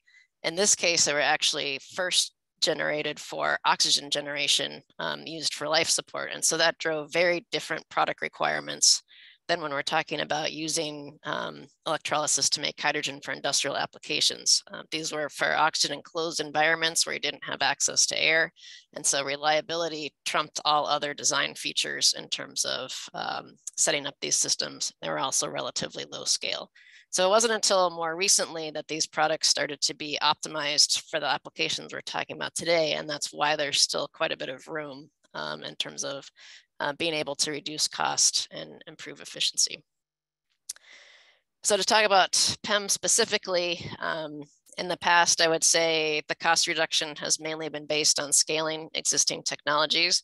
And the cost reduction, it basically follows some um, engineering principles around um, power or uh, large scale process plants. So there's this rule of thumb of six tenths, um, and you can see that if you plot the line that would follow this equation versus actual costs of some of the um, systems that we've built, it follows pretty well. So we think that just by increasing the scale of the plant, um, you can get quite a bit of cost reduction, um, as Mark was showing.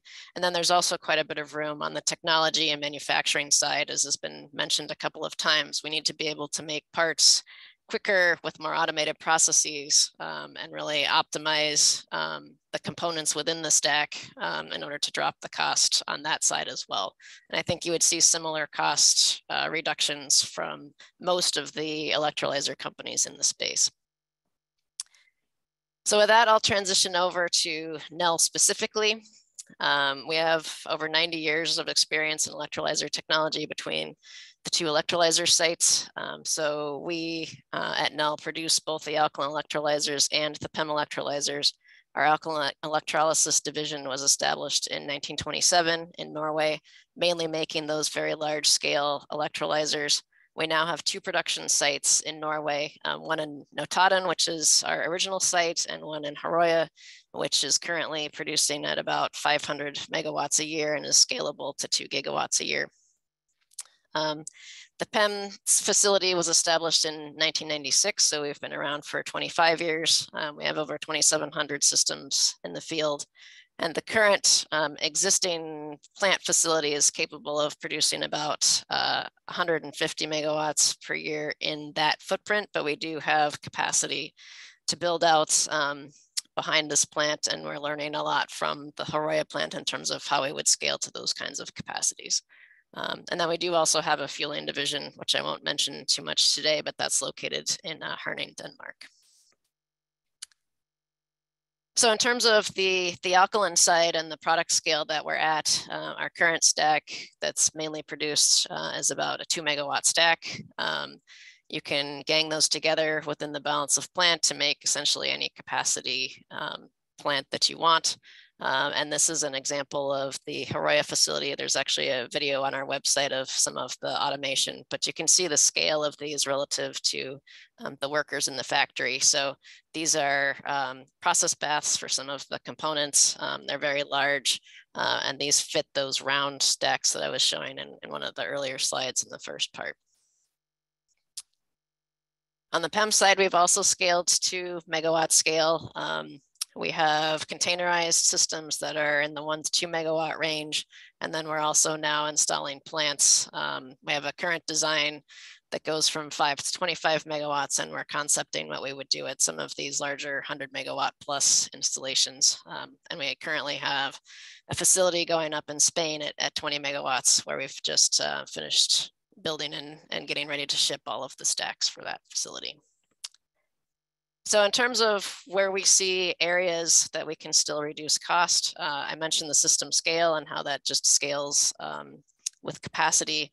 There's room in the power electronics side um, because in the past, uh, electrolyzer stacks have, have mainly been low voltage and high current, which is less common for commercial supplies. And so we're working to better match up with the, um, the power supply manufacturers um, as mentioned, there's a lot we can do in automation, labor reduction, um, automating some of these processes like going to roll to roll types of processes can also improve our process capabilities so that we can make more precise parts, which means we can make them thinner reliably and make them higher performance. Um, material utilization, so things like lower amounts of the catalyst and thinner membranes, and then also going to higher current density because if you're operating these at higher currents, that means you need less cells to get to the capacity that you have. Um, so that's the overview for us, and I will pass it back to you, Mark. Thank you, Kathy. Uh, I really appreciate both the Nel overview and your ability to simplify four very complex technologies in such a way that we can then talk about them, them very clearly. Uh, thank you very much. We do have some questions we'll get into later on in the session around them. Uh, but the next person up on our panel is Rafi Garabedian, who is a co-founder and the CEO of the Electric Hydrogen Company. Uh, prior to joining Electric Hydrogen, Rafi had a really well-known and well-regarded career as the chief technology officer at First Solar, uh, which in which I didn't get to meet him, but it seems like everybody I know met Rafi during that during that time period. So Rafi is is well known around the industry and has really done a lot in terms of the solar side, and is hoping to take a lot of those lessons and be able to convert them over to uh, the the electrolyzer side. Um, and I just learned that before First Solar, Rafi had another really impressive career doing micro electromechanical systems, which I won't go into, but I think there's there's some lessons learned from that. So Rafi, I'll turn it over to you to give us some background on what electric hydrogen is doing and where you are focused. Thank you very much for the kind introduction, Mark. It's great to be included today and actually an honor to be uh, able to speak in the same panel with Kathy and Dave. So uh, I appreciate the, uh, the chance to do this. Um, yeah, I've had a lot of interesting experiences and a lot of scar tissue developed along the way. Um, now applying some of that here in hydrogen production. Um, quick background on electric hydrogen. I don't have any slides to share, so um, I'm just going to speak to this. Uh, the company is a venture financed uh, deep tech uh, startup. We're building what we hope will be the next generation of green hydrogen production systems. Um, we're supported by investors including Breakthrough Energy Ventures, Capricorn, Prelude, uh, Energy Impact Partners. Uh, these are some of the most experienced, serious, committed climate tech funds uh, in the business, at least at the um, early uh, venture phase. And we're, um, we're really proud that they've chosen to support us in our, our mission here. There isn't much about us um, out on the web in public, and uh, I can't give many details today about what we're doing. Uh, but suffice to say, we're heads down quietly in the lab, building a product that we hope will, will be fairly revolutionary um, and help in the conversion of renewable energy to cheap, plentiful, renewable hydrogen. Our, our mantra is really simple at the company. Um, it's fossil parity cost at a scale that matters. And uh, you know, fossil parity cost is, is uh, a topic we can talk at length about if, if people want to discuss it. Um, Kathy, I generally agree with your numbers. I think, you know, Henry Hub, kind of Louisiana, uh, gray hydrogen is about a buck 30 a kilo um, at the point of production. And, um, you know, with carbon capture and sequestration, if that comes to be a reality, which I think it will, maybe it floats up to north of a buck 50, almost $2 a kilo. So, so that's, that's the price point at which we cross over to parity in cost with the carbon intensive resource. And as we've experienced in both solar and wind, that cost parity stimulates adoption in a real and meaningful way, which is why it's our, our goal. Um, we've only been at it for a few years at electric hydrogen. It's early days. Um, we do not have 90 years of experience in hydrogen production, but we're trying to move very, very quickly along a path to commercialization among the founding team at Electric, um, we have pretty much three decades, I think, almost of experience, executive experience from companies including First Solar and Tesla, um, both iconic companies that have been involved in the revolution in renewable energy and the revolution in the automotive industry. Um, we're not electrochemists. Um, we're technologists. We have a lot of background, as you can imagine, in renewable energy, um, in device physics, in high volume, low cost manufacturing, and in systems engineering. And those are the experiences uh, that we're trying to bring to bear on the production of renewable hydrogen. Um, we're intentionally working to solve a particular problem. We, we believe that uh, only companies that can solve for very low cost at very large scale will be sustainably successful. And you know, I really appreciated the earlier comments um, from Chris in particular around the importance of, of scale. The um, economics of green hydrogen today, as uh, the survey pretty handily uh, highlighted, is dominated by capex, um, with fully constructed and commissioned electrolyzer plants costing around a thousand dollars a kilowatt, around a dollar a watt. Um, some more, some a little less, but that's kind of the number, uh, at least in the Western world. As with any very expensive plant, the economics of operation motivate owners to run all the time at high capacity factor. And this remains true even as existing manufacturers learn, go down the learning curve and reduce plant costs to 600 $500 a kilowatt or so. Um, even at that state, it's still a high capacity factor plant. The problem is that at scale, high capacity factor energy is necessarily expensive and not discussed as much. It's necessarily dirty unless you happen to have access to excess hydro, of which there really isn't much. That's not a scalable resource. Um, the cleanest and cheapest power in the world, as Mark explained, is unfirmed solar and wind. And you know, really, that's the resource that we think long and hard about at Electric Hydrogen, uh, coupling to electrolysis to produce fossil parity hydrogen. Um, our vision is just that: it's to produce large-scale plants such that we can deploy profitably at radically lower capex. Very low capex facilitates the use of cheap green energy and should allow us to attain in many locations um, $1.50 a kilo and even to beat $1.50 a kilogram um, on the economics of it, which, uh, which again is our, our definition of fossil parity we could debate. Um, as wind and solar get cheaper, we should be able to approach a dollar a kilogram, which frankly approaches thermal parity with natural gas if you include the uplifting cost from carbon capture. And you know that's a radical and revolutionary price point that um, will allow the displacement of fossil fuels um, across a really broad value chain in the energy industry. Um, I think that's you know if we're here talking about how to scale renewable hydrogen, that's how you do it. You get to fossil parity prices, and that creates the market and the pull. Um, there's no one component of an electrolysis system that obviously dominates the overall cost, which is why we take a systems engineering approach at Electric. Um, we believe we've identified a pathway based on uh, the capabilities of a proprietary electrochemical cell technology we've developed that along with careful co-optimization at the system level, and Kathy mentioned some of the factors, but there are many, many opportunities to co-optimize and drive cost out of a constructed system. Uh, we believe with that kind of an approach, we can, we can get to the necessary fully installed capital costs that will facilitate uh, ultra low cost fossil parity hydrogen, green hydrogen. So with that, I'll, um, I'll end my comments. Thank you for the, uh, the chance, Mark. Thank you, Rafi. I appreciate the, those those comments, and I uh, appreciate the challenge that you've taken on in terms of growing a, a, brand new company in in this industry. It's a it's a big challenge and, and a very exciting one.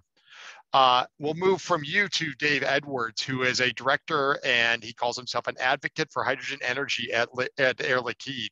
Um, Dave is, in many cases, the person I, I try to think about when I think about what does the current industry say, how are they thinking about things, and how do we really understand what it's going to take for future technologies to be competitive. So Dave provides that background and value because of his experience at Air Liquide for more than 25 years, working in and around hydrogen in partnerships with industry, academia, and government entities, and really just trying to understand where hydrogen is. He's also one of the key players in the development of the the U, the McKinsey, well, the FCHEA published work on uh, on the potential for hydrogen within the U.S., uh, being the main leader from the Hydrogen Council on that. So he brings a lot of knowledge in terms of thinking about not just his company but the industry as a whole. But here, I'll let Dave talk about where his company fits, where you're headed, and where you see hydrogen heading as a whole, Dave.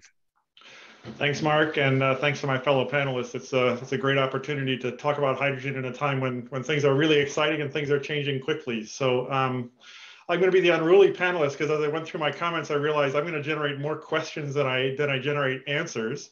Um, and whether my panelists are able to answer these or whether these are time will tell uh, questions, we shall see. Um, I think Mark, you did a great job kicking us off. We all have a shared vision of what of what the future looks like. Hydrogen at scale, ubiquitous amounts of low carbon hydrogen from electrolysis, uh, leading into the transportation sectors, the energy storage sectors, natural gas displacement, and all the places that we think hydrogen can make a difference. Um, this is going to require many, many gigawatts of investment in electrolysis over the next 10 to 20 years.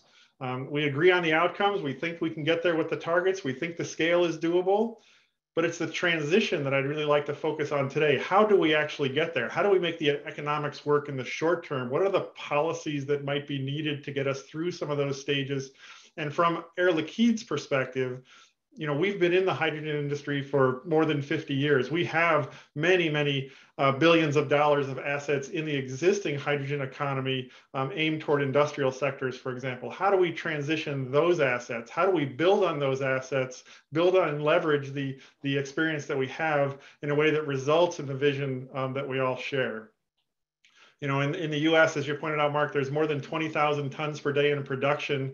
Um, that's on the order of many tens of gigawatts of equivalent electrolysis production if we were to take those offline. And at what rate will these uh, become decarbonized? Do we displace them or do we decarbonize them um, as we go forward? And these are the real challenges that we're now faced with um, day to day in our, in our operating groups.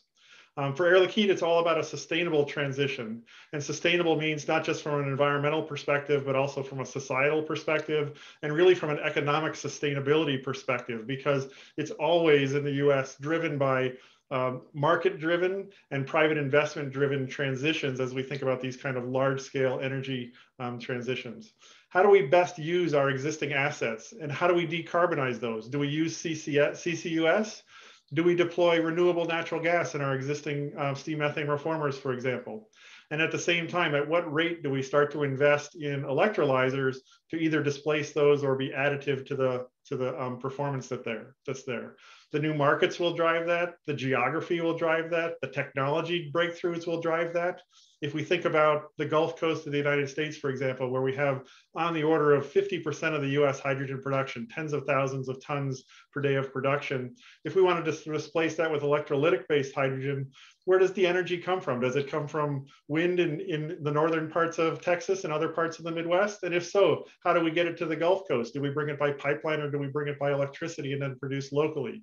These are all the challenges and the questions that I'll bring up. I'm not sure we have the answers to all these questions today. And I've, and I've already seen a lot of questions in the, in the comment session asking about, you know, what are the costs going to be? What are the breakthroughs going to be that are necessary to get us there? In a lot of cases we don't we don't fully know and until we start to do things at scale and start to deploy them and start to get good information and find out where our limitations are we, we may not know um, until we start to do these things at scale for Air Liquide, we back up our, our vision with actions. We've got two big investments that are in the ground today. Um, we have in Bécancour, uh, Quebec, we have uh, a 20 megawatt electrolyzer operating on hydropower. It's produced uh, more than a, th a, thousand tons of um, hydrogen to date, um, all zero carbon going to our, our new energy markets. And then in Nevada, we have a new facility that'll be opening up in the next few weeks. Um, it uses renewable natural gas in, in reforming in order to produce uh, low carbon hydrogen for the California mobility markets, essentially. Uh, with that, I really look forward to the discussions and uh, look forward to another exciting year coming in 2022 for, uh, for hydrogen and its transition. Thank you, Dave. I, I, appreciate the questions, and it's always good to have at least one unruly panelist who's willing to ask more questions than we have answers to. It makes it makes it much more fun. So thank you very much. Um, we do have a few questions coming in uh, and, and, some other ones I'd like to talk through. I think the first one, though, is more of a technical question that, that came in based on Kathy's presentation, noting that high temperature electrolysis and that it's mentioned in, in the, the bipartisan infrastructure law or the IIJA, uh, as, as other people refer to it. Um, what are the advantages of high temperature electrolysis compared to low temperature electrolysis or what are the niches where you see where high temperature fits better than low temperature? And then we'll get into some of these other uh, more philosophical questions but a technical question to start us with. You want me to start with that one? Yeah please kathy. Um, so I didn't go into the quantitative aspects, but it's really the efficiency of the high temperature electrolysis that is the advantage. So um, you know, it can be, I don't know the exact number, but um, probably 25%, 20% more efficient than the low temperature just because of the the kinetics of the reactions at those temperatures. And so when you're thinking about uh, that balance between capital cost and operating cost, the high temperature systems could have an advantage there.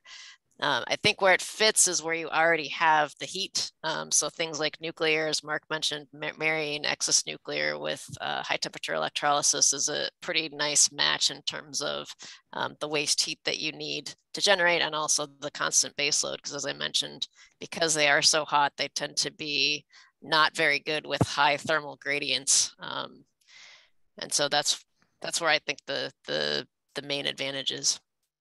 If I can add on to that comment, um, most of the nuclear operators who I talk to who are interested in hydrogen production are not really thinking about it as baseload. They're thinking about it as as um, variable demand, a yep. form of flexibility. And so, even in that use case, I think um, flexibility is is a necessity. You know, otherwise you're you're really taking up the baseload production of nuclear, which is arguably its most valuable um, component in the production stack. So, you know, it's a tough equation to solve. Although I would add to that, working with some of the, the high temperature electrolyzer uh, development companies and some of the nuclear, uh, some of the nuclear operators, there's a lot of focus in how might they introduce that flexibility. And I think that the concept or the, the base concept for that is kind of a hot standby mode where it's a minimal amount of electricity to be able to keep the temperature up. And then they believe that they can flex in, in similar ways. Now, I'm not completely convinced from a technical viewpoint. I mean, it's, a, it's hard enough to understand durability of some of those oxide electrolysis uh, electrolyzers anyway. So uh, it, will be interesting to see how it plays out. But it's it's it's an interesting opportunity, especially for a lot of these nuclear power plants that are economically challenged based on competing with natural gas and wind and solar today.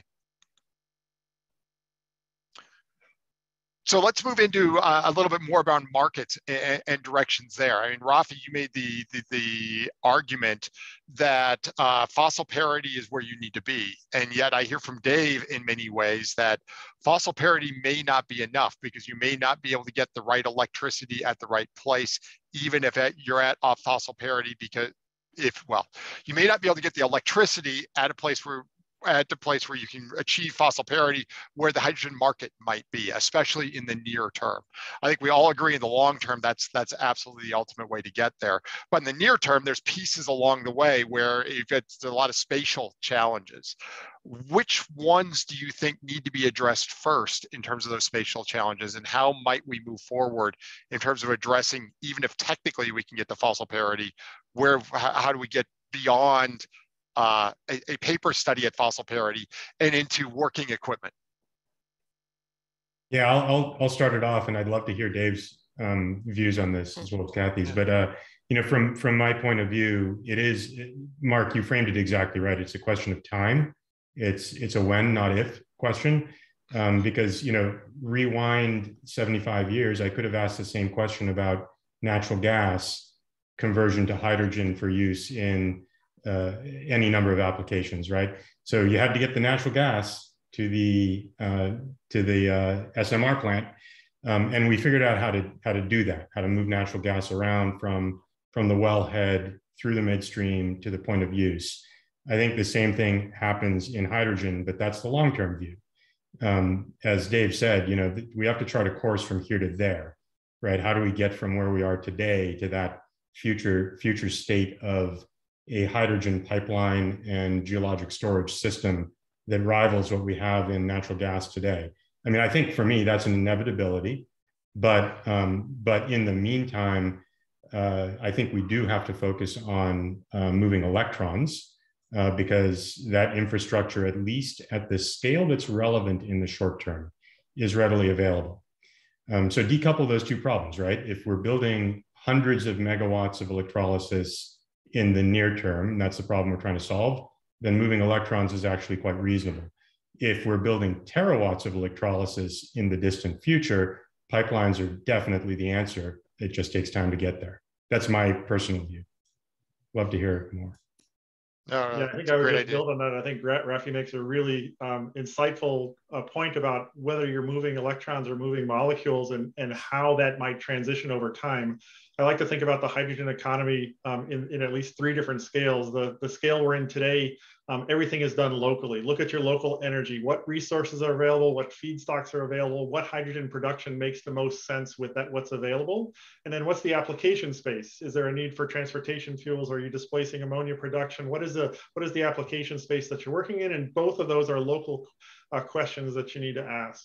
Um, but over time, it becomes more of a regional um, question. You start to look outside of your specific location. You start to look instead of hundreds of miles, you might start to look thousands of miles. You start to move molecules maybe as liquid, uh, which allows you to move things further than you could before. And then eventually we get to a national scale. And at the national scale, you need to be moving molecules by pipeline. Um, that, that is not something we can do today. Um, we, we do it with natural gas, but we will need to be able to do it with hydrogen. We can also think, I suppose, about a fourth term where we're, we're thinking about hydrogen as a global molecule, and now it's moving um, either as a liquid or in, a, in another carrier um, around the globe and becomes a, a global energy um, commodity for us. Um, so for at least in the in the short term, I think Rafi hit it right on the head that you need to look at what's available locally with the existing infrastructure. What can you do with what you've got? How are those investments going to lead you to this expansion in region? And then what are the overall resources that the US can deploy, that the globe can deploy to, to make hydrogen really part of this energy transition?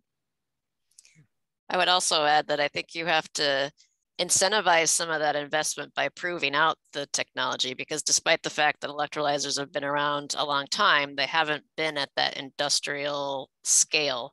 And so I think Sanjay said it earlier, I mean, we just need to get going and actually building some of these in some of those niche areas where there are a convergence of, you know, utilization, renewable energy, et cetera, you know, like Houston, for example, um, where you have chemical industry and you have access to maybe offshore wind and you have access to pipeline getting a few big projects going so that there's confidence in investors to go ahead and make the commitment to do the rest is the starting point, I think. Yeah, I think Kathy makes an excellent point that in the end, it's going to be the economics that drive the rate of that transition. And economics are influenced by everything from policy to, you know, existing challenges to new challenges to new technologies to new investments. Um, but but really, it's going to be the economics that determines where and how fast we can make that transition, and can we make the transition to scale that we need to be able to do. Great point. So, so another thing that drives economics, and Dave, I'll, I'll direct this question to you first, but then I'd love to hear Kathy and Rafi's comments on it as well. Another, uh, another piece that drives future economics is is near-term investment and lock-in and the fact that once something is built then economics start to be driven or it's cheaper to keep that operating than to build a replacement in, in many cases or you've got to be much more competitive to build the replacement. So the uh, the, the bill or the, the bipartisan infra infrastructure law uh, has $8 billion in hydrogen hubs, which I foresee in looking at your four different categories, Dave, as being the, one of the local area type solutions how might DOE think about designing, say, an RFP for that or working with those those hydrogen hubs, however many there are, four, six, eight, whatever that might be, so that they uh, they prioritize or incentivize the opportunity to go from those local hubs to something more regional in the future or maybe even beyond that uh, what how might those be set up in such a way to be able to build beyond or to be thinking in the designs beyond that first initial hub well, I think uh, my, my biggest suggestion is that we have a little bit of a mindset change on what a funding opportunity might look like from the DOE. This is a, at a scale that's entirely different the outcome isn't necessarily demonstration of technology, it's demonstration of the economic viability of hydrogen in a market, which requires technology development, but it also requires a lot of other investment from production to distribution and also development of the, of the um, application. I think the biggest criteria for success for the hubs, the biggest measure of success should be, did it result in a viable market? A market that can grow, a market that's sustainable when the DOE funding goes away does it result in others adopting hydrogen into those markets? If the answer to those questions is yes, then I think the hubs will be a huge success because they will spur in a few years what might have been a decades long investment in the past. And it'll force projects to be much bigger, much earlier than we might have anticipated because the economics will work out. Those have to result in long term sustainable outcomes. And it's the economic outcomes combined with the environmental outcomes and the societal outcomes that need to all three need to be a success in order for the in order for the hubs to be a, a successful program. If we end up uh, a few years from now and the hub monies go away and, and we've said yep we've demonstrated some new technologies now we just wait for the market to take off we, we probably are making a mistake. We probably haven't picked the right hub or the right hub projects if that's the case at least in my opinion Kathy, Rafi, thoughts on the hubs and where where DOE should be focusing with them? I mean, I, I agree with aspects of of what Dave said, and I, I would I, I especially think that creating the markets and and creating some surety around them is what's going to help the electrolyzer companies get the technology there because i would say you know I, I, think plug talked about this earlier that's basically what happened in the, the fuel cell fork truck market you know doe helped to seed the market there um, that gave people the confidence to go ahead and invest because i think in a lot of cases we know how we need to get to the cost reduction targets, but it, it requires a significant amount of investment and we need to know that that market's gonna be there to take up the product. So I do think that that's a very important aspect of this. Um, I also think we're gonna need to, to think about um, jobs as well. I mean, I, I, think it was a little simplistic earlier to say that um, they're going to be directly transferable. I think areas like these um, coal driven areas, um, it's going to be harder to think about. And that's something we're going to need to consider in the hubs as well, because I think they're uh, at least one or two of them is going to end up in one of those areas. So I think that's something that we'll need to think about too is uh, is retraining and how do you how do you transition somebody from something like a coal mine to something like a clean technology nothing else to add mark okay good comments. No, that, that, that that's great. So so continuing on the discussion around creating markets, because I think that the the first uh, the first panel in this in today uh, with uh, Sanjay, especially from Plug Power, talked a lot about creating markets. But then I noted that his uh, his one comment for uh, a policymaker when asked, you know, what would you tell a policymaker is to create a production tax credit, which I would say isn't necessarily directly connected to creating markets. It's creating opportunities for markets. Uh, what would what would the three of you think that that first policy or that that policy might be to be able to create the markets? Is it reducing the cost of hydrogen through production tax credit or other means, or is it other types of incentives on more the market pull side? And I'll open that up to any of you, whoever wants to not step backwards the fastest. Uh, I, will step, I'll step into that one. For, from my perspective, I would agree that a production tax credit, um, for a couple of reasons. Um, the production tax credits, um, at least some of the ways they've been structured in the past and the way that they've been discussed, they are technology independent. So it allows a lot of different um, marketplaces to play in hydrogen production. It would encourage a lot of private investment into, into hydrogen production, things we don't see today. It would bring a lot of players into hydrogen production that we hadn't seen in the past because the amount of um, investment dollars that might be involved. And from all of those perspectives, what it does is it brings low cost, low carbon hydrogen into a market. And that allows people to adopt it more quickly. You can adopt it as a transportation fuel because the commercial adopters are going to have diesel parity earlier and at a scale they can they can rely on. And the other applications where you're doing natural gas displacement, it becomes an issue of economics at scale. And, and that's the number one thing I think that we could do from a policy perspective. Yeah, I'll, I'll, I'll jump in on this. Um, I mean, there's two approaches, right? You can reduce the cost or you can increase the price um, I'm no, uh, I'm not unfamiliar with the PTC and the ITC from solar and wind, and it's been it's been tremendously effective. But there's uh, there are also a lot of distortions that it creates in the capital markets that are really hard to get around. Um, and you know the the the pool of tax advantage capital is not only a limited one, but it's it's a complex one, which um, which advantages certain parties over others uh, for for a lot of reasons. I mean, I, I, think if if I had the choice of nothing or a PTC, I'd pick a PTC. Um, but uh, you know, ultimately, I think um, the I'm going to give the hard pat answer here, which is that we have to internalize the um, the cost of the externalities, carbon, um, more broadly, and and then let the market work it out.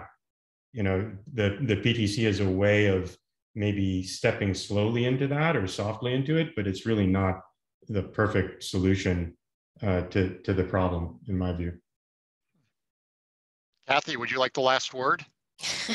I don't know that I have that much to add. I do think that a, a production tax credit at the level that's being proposed would be game changing.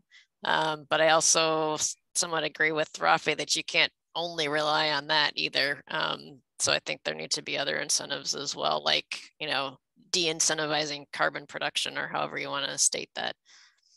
Okay. Yeah, one, one interesting point on, on this, uh, I think a previous speaker, uh, maybe it was Chris, made the point that um, renewable energy is far more capital intensive than, uh, than fossil energy. Uh, and so the tax um, uh, the tax the taxes that are involved in a project become a more significant piece of the cost of the energy that's produced or the product that's produced And so, you know, that's that's maybe one reason why the PTC does make sense. Um, but I would personally uh, ask policymakers to think about a more durable, not a not a, a short term, but a more durable um, approach to solving that problem. Thank you. Well, I according to the agenda, we were supposed to end here, but I got a message asking uh, to continue with a couple more questions, meaning that this panel's answers are so insightful that we definitely want to ask a, a couple more things. Um, one of those is that the, the goal of, well, we've seen multiple goals for hydrogen, uh, $2 per kilogram in the bipartisan infrastructure law, $1 per kilogram in the uh, in the hydrogen shot initiative. Um, and I'm just talking about electrolysis-based hydrogen here, not uh, not many of the other options that are out there, and there, there's lots of discussion there.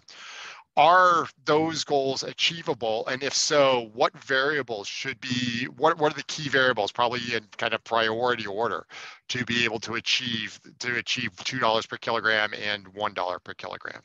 And um, Rafi, I know you already answered part of this in the chat, so I'll turn it over to you to answer first. Yeah, I mean, my my view of it, and there are different views, but my view of it is is super simple. As Kathy said, um, energy is a huge part of the cost of hydrogen, and, even if you had a free electrolyzer plant, um, you know, fifty dollar a megawatt hour energy isn't going to cut it. Um, and so, first and foremost, we we have to tap into an extremely low cost source of energy, sub with the potential to go sub ten dollars a megawatt hour. Um, that is clean, green, and scalable, right? If we're talking about building gigawatt scale, many, many gigawatt scale plants, it's got to be a, a new scalable energy resource because our grid isn't built to support a doubling of demand in order to offset, um, you know, the the thermal uses of natural gas and the chemical uses of natural gas. So we need really cheap energy that's scalable and clean. That's only one thing. That's wind and solar unfirmed. As soon as you try to firm solar and wind, the cost goes through the roof because batteries are expensive.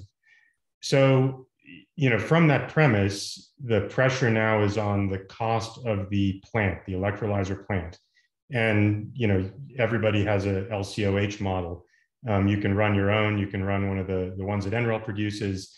Um, but the, the answer always comes out the same you got to be able to build a constructed electrolysis plant fully commissioned for under 300 bucks a kilowatt. And if you can do that, then then those things then the price point is achievable. And I'll take it you're optimistic that we can get there. That's what we're trying to do. Any additional thoughts, Kathy or Dave, on on that?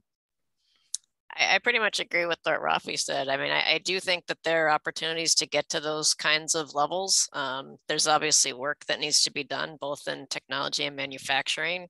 Um, but it all comes down to if you have that low cost renewable energy, then I think the pathway to the capex is is there, especially if we're talking, you know, an intermediate cost of two dollars and then an ultimate cost within, I guess, nine years from now um, eh, of one dollar.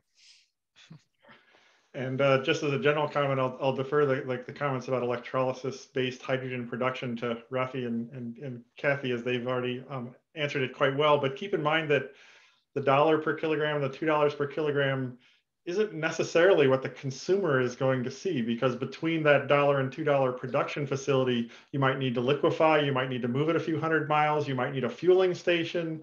There's any number of things in the in the distribution network that can be additive to that and even potentially more costly than even a few dollars per kilogram. And so the picture that the, the problem that needs to be solved is bigger than just the one or two dollars per kilogram.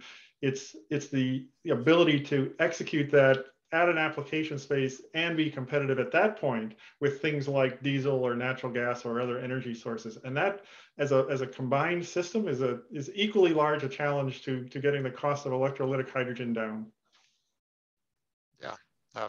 Definitely a, a, good point, which leads into kind of the, the, the, last question in the chat, which talks about integration between renewables and electrolyzers. And I know uh, Rafi made a really good point that in the near term, when you're only looking at uh, thousands of tons, uh, you're, you're probably looking at moving electrons, but in the long term, you need to be able to move, you need a pipeline uh, to be able to do that. Or maybe that was Dave that made that point.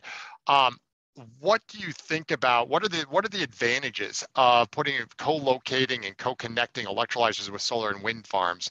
And in what situations would that overcome the disadvantages of having to move having to move hydrogen instead of having to move electrons which has a, a more built out uh, infrastructure today? And i'll open that up to any of the three of you. I, I would comment that there's a bit of a land grab going on amongst renewable developers today who are looking at heretofore unviable sites for both wind and solar that happen to be co-located or continuous with rights of way, pipeline rights of way that exist. Um, and so, you know, people are thinking ahead on this problem, thinking to a time when those pipelines do get constructed and those pieces of property with very, very good renewable resource uh, can be constructed economically. So you know, there, there's a lot going on there, um, kind of tying the two points together. Uh, I'll comment on the integra- integration question. Um, you know, we've done a lot of analysis around the the integration of solar, wind, solar and or wind and electrolysis, and um, there there are really significant capital advantages to uh, to be taken uh, through that tighter integration of the system. Um, but it obviously does put 100% the burden on being able to move the gas. And I would just add the word store the gas. Uh, there, there's an equally large challenge. Can you store on site? If you're going to operate your electrolyzer in a periodic fashion and you have a liquefier on site, how do you merge those two without there being a very large storage between the two, for example?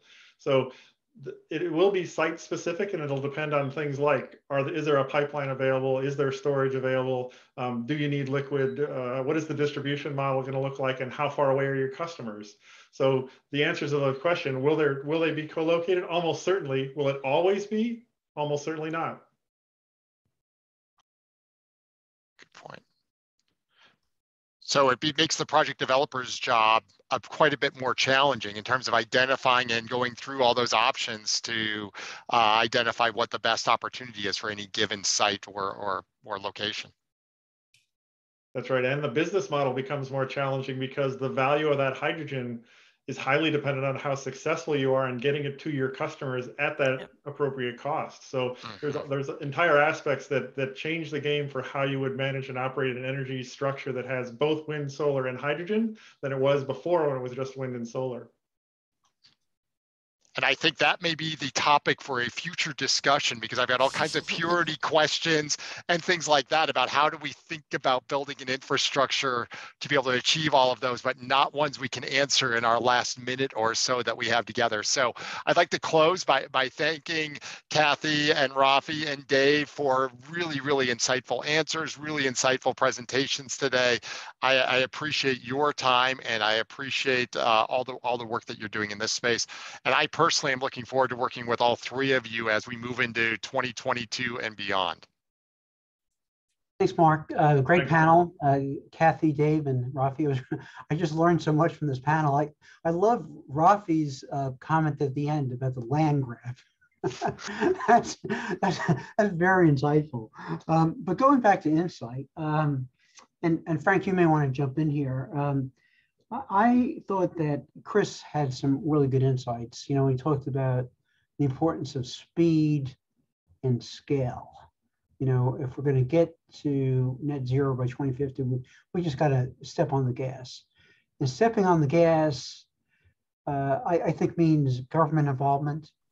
And, you know, this first panel that Frank shared um, about the strategy, I, I just think is critical because as Chris said, we, you know, right now we, we lack supply, um, we like lack demand, and we lack the infrastructure. And the only way, I mean, eventually this these things will happen, but the government really has to have an outsized role here. and uh, you know, from what I'm hearing, you know, the uh, national hubs or the regional hubs, uh, big or small, are going to be an important part of the strategy. Um, anybody else want to just jump in here in terms of you know what what was the most important thing that you heard today? Was it uh, do you agree with this comment about the supply, demand, and infrastructure lacking in the U.S. and and the importance of the government role? It, you know, I, I, think if the government, uh, maybe uh, Kathy was the person that said this that that it, that if the government starts investing, people will co-invest. That that's just life. You know, if somebody knows there's, there's somebody else's money is involved, well, then I'll put my money in, there as well. Yeah, I think it's not only the co-investment, but just the the demonstration in a specific application and being able to look at that and say, okay, I trust this because I've seen this 10 or 20 megawatt demo or whatever it was, you know, um, say, I know already there's demonstrations going on with nuclear, for example, or I think there's a couple of other H2 at scale projects. And once the utilities are saying, yes, I've seen this plant on the ground, I can see it's working, then they're more willing to do a similar demonstration. Then it kind of grows from there, I think.